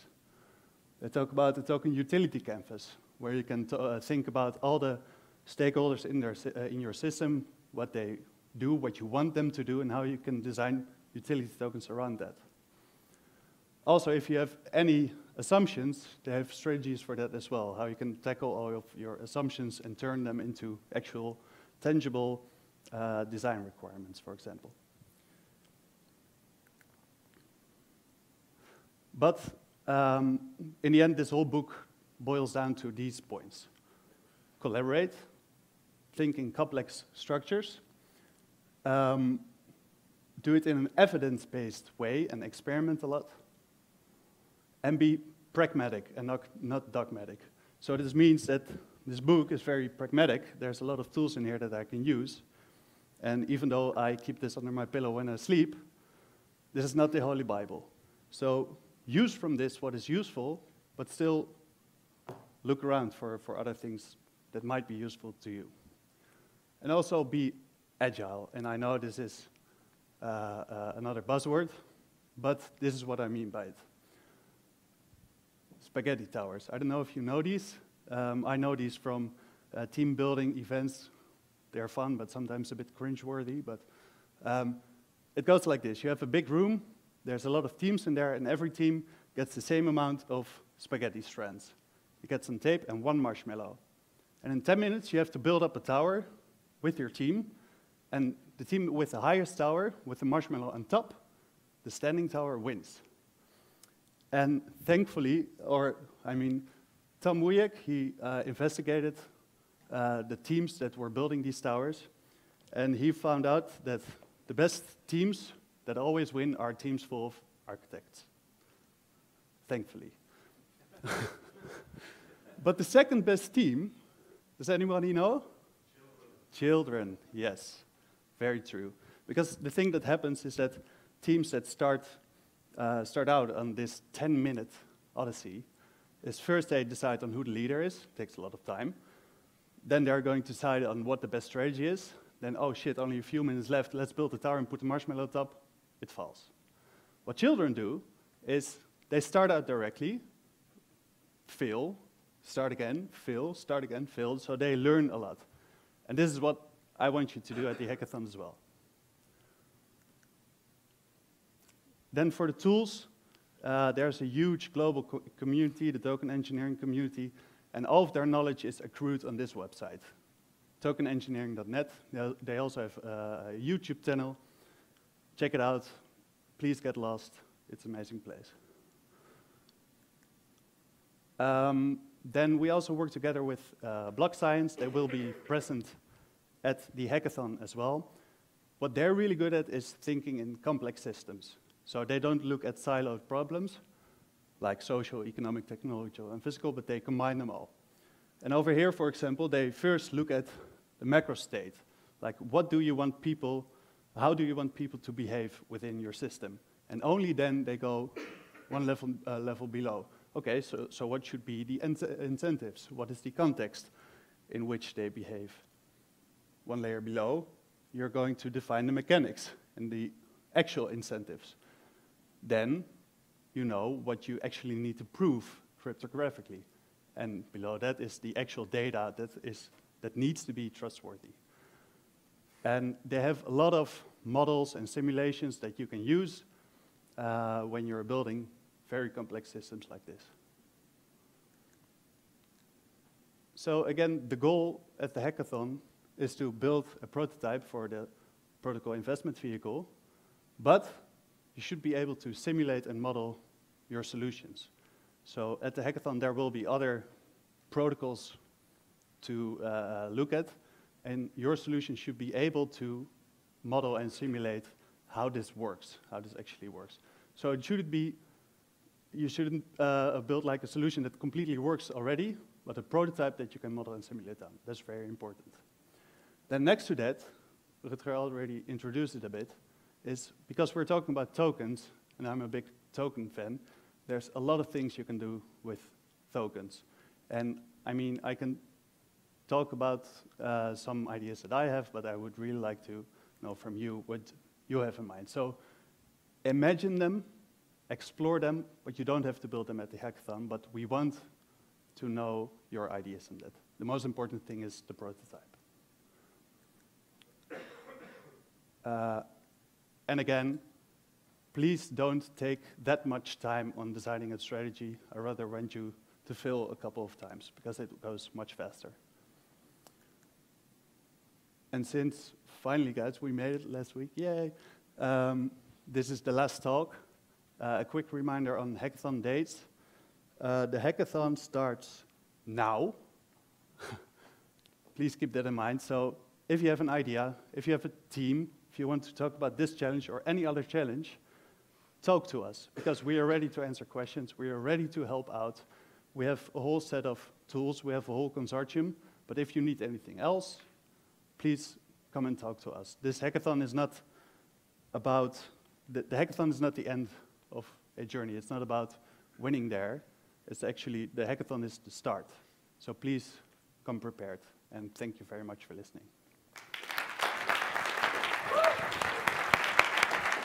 Questions? Thank you, Abe. Uh, I have a prediction. I think the winners of this track will be a little crazy, yes. but perhaps a little brilliant as well. So I'm very glad to host this. Um, yeah, yeah, is there anyone who would like a question about this challenge? I have some, but uh, anyone who uh, wants to know something more about what is posed over here? Or is there people? All clear. That's cool. Yes, okay. I see two of them. I, can I throw it in the back first? Please do. Catch. Oh. Um, yeah, I heard uh, it's a great idea. Uh, I, I, heard, to my in my view, a lot of similarities to UETP, uh, uh, visions of uh, vocafet.org? Sounds Yeah. great. I haven't heard of them yet. I, kn- I, kn- I know them. I know uh, Floris quite well. Um, Can you I think elaborate he, on that? He, he describes a, a way a protocol could work, but it's not an it's not a vehicle or a token system, to my understanding. So I think it could be definitely helpful, and would love uh, if I Floris would be there. But uh, it's not a, a working DAO. So that's what we want to create. I understand that one. The DAO is not in there, I think, but it's the ecosystem, and uh, I, I- I s- I- I think I know what you guys are after with the token, but that's just the meaning or a tool. Mhm. So, uh, in- to my understanding, you want to achieve those different states of context, uh, validity, and trust, Yeah, it's a good uh, which can be achieved in different ways. And I think that's in the uh, UATP ecosystem. Or, but uh, I'd like to share some thoughts on that. Cool. Yes, please. Okay. Talk, talk Thank to us. you. Yeah, and indeed, um, the token is not an end. I mean, I've talked about tokenized ecosystems, but we have still have to investigate if the token is the best solution. It might not be. I just looked something up, and uh, the translation of kruisbestuiving is, is pollination. Maybe that's the thing we need over here. Um, can you throw the box to the gentleman over here? Um, I had a question. You um, talking about uh, modeling of the token system. Do you know of any tools that are uh, available to do that modeling with? Uh, could you could you repeat that a little louder, please? Yeah. Are there any tools available to model uh, a token system? Yeah, indeed. So, so on the, the tokenengineering.net website, you can find some registries of, of uh, models that are open to use. BlockScience also has some models open to use, some of them not open. Uh, but I'm not sure about how well they want to open this, uh, uh, these models at the, the hackathon. But they, they will guide you through it. Okay. Thanks. Thank you. Um, I see another question, in a gentleman behind you. Um, in the beginning, you mentioned um, 45% uh, investors, 45% uh, builders, and 10% ecosystem. Is that a design constraint on the system, or is there some uh, explanation behind that a little bit? Not, it's not per se a design constraint. Um, it's something that that keeps coming back. Uh, that you we want to explore this joint venture-like construction uh, to have uh, an absolute balance between the builders and the investors uh, in a way that uh, they always need each other to move uh, forward. Um, so this is why we, we have it in our sketch. Um, if equilibrium and better alignment can be achieved uh, in, in alternative ways, we are very open to that. This is, uh, this is our uh, simplest way of thinking. Uh, and we want to keep things, uh, because the, the interesting part when you do these token engineering sessions, I think, is to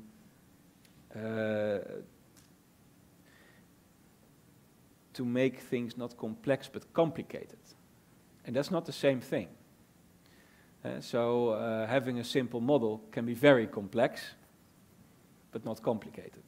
So uh, we want to get the complicated stuff out of the way and make things really easy to understand. Um, in a way, what Tom also mentioned in the, in the video, we want this to be understood by the mainstream. I want to be able to explain this to everyone. Uh, because more and more people will need to be involved in, in this ecosystem uh, without any boundaries. So that's why we're, we're looking at something that everybody can work with and what everybody can understand, and that is as simple as a share but works in a different way. Thank you. Great. Um, I also just had a point about um, BlockScience's uh, simulation and modeling tool. If anybody would like some more information, I'm uh, taking some names and emails for um, the release of the, uh, basically they're hoping to open source within 2019 um, for this uh, tool, and there's some closed beta that's going to be coming out fairly soon. So if anybody would like more information, I can take uh, information and pass it on to Michael Zargham at BlockScience. Thank you, sir. Cool. Is Thanks there for sharing. more people who have questions before we go to our drinks. uh, I think. Yeah, now. Drinks. Yeah. Are you thirsty? ah, Who dares? The D word. Sorry, sorry, the D word. Um, I think then we're going to go towards our ecosystem get together in uh, liquid form. Uh, can, can, we have a huge round of applause for uh, for Wouter for guiding us through the, through the program? Um, thanks, Rutger. And uh, th thanks to all you, you and all your colleagues, the minister, and also the ministry for having us here. Thank you very much. Thank you so much. Um, yeah, it was wonderful of having all these people over here. Um, for me, it's really an experience of okay, or these people are nuts, or these people are brilliant, but I do think we have the duty to find out. Um, and I think we're going to do that in the couple, next couple of months. And uh, let's find each other and uh, have some drinks and have a great weekend. Thank you all.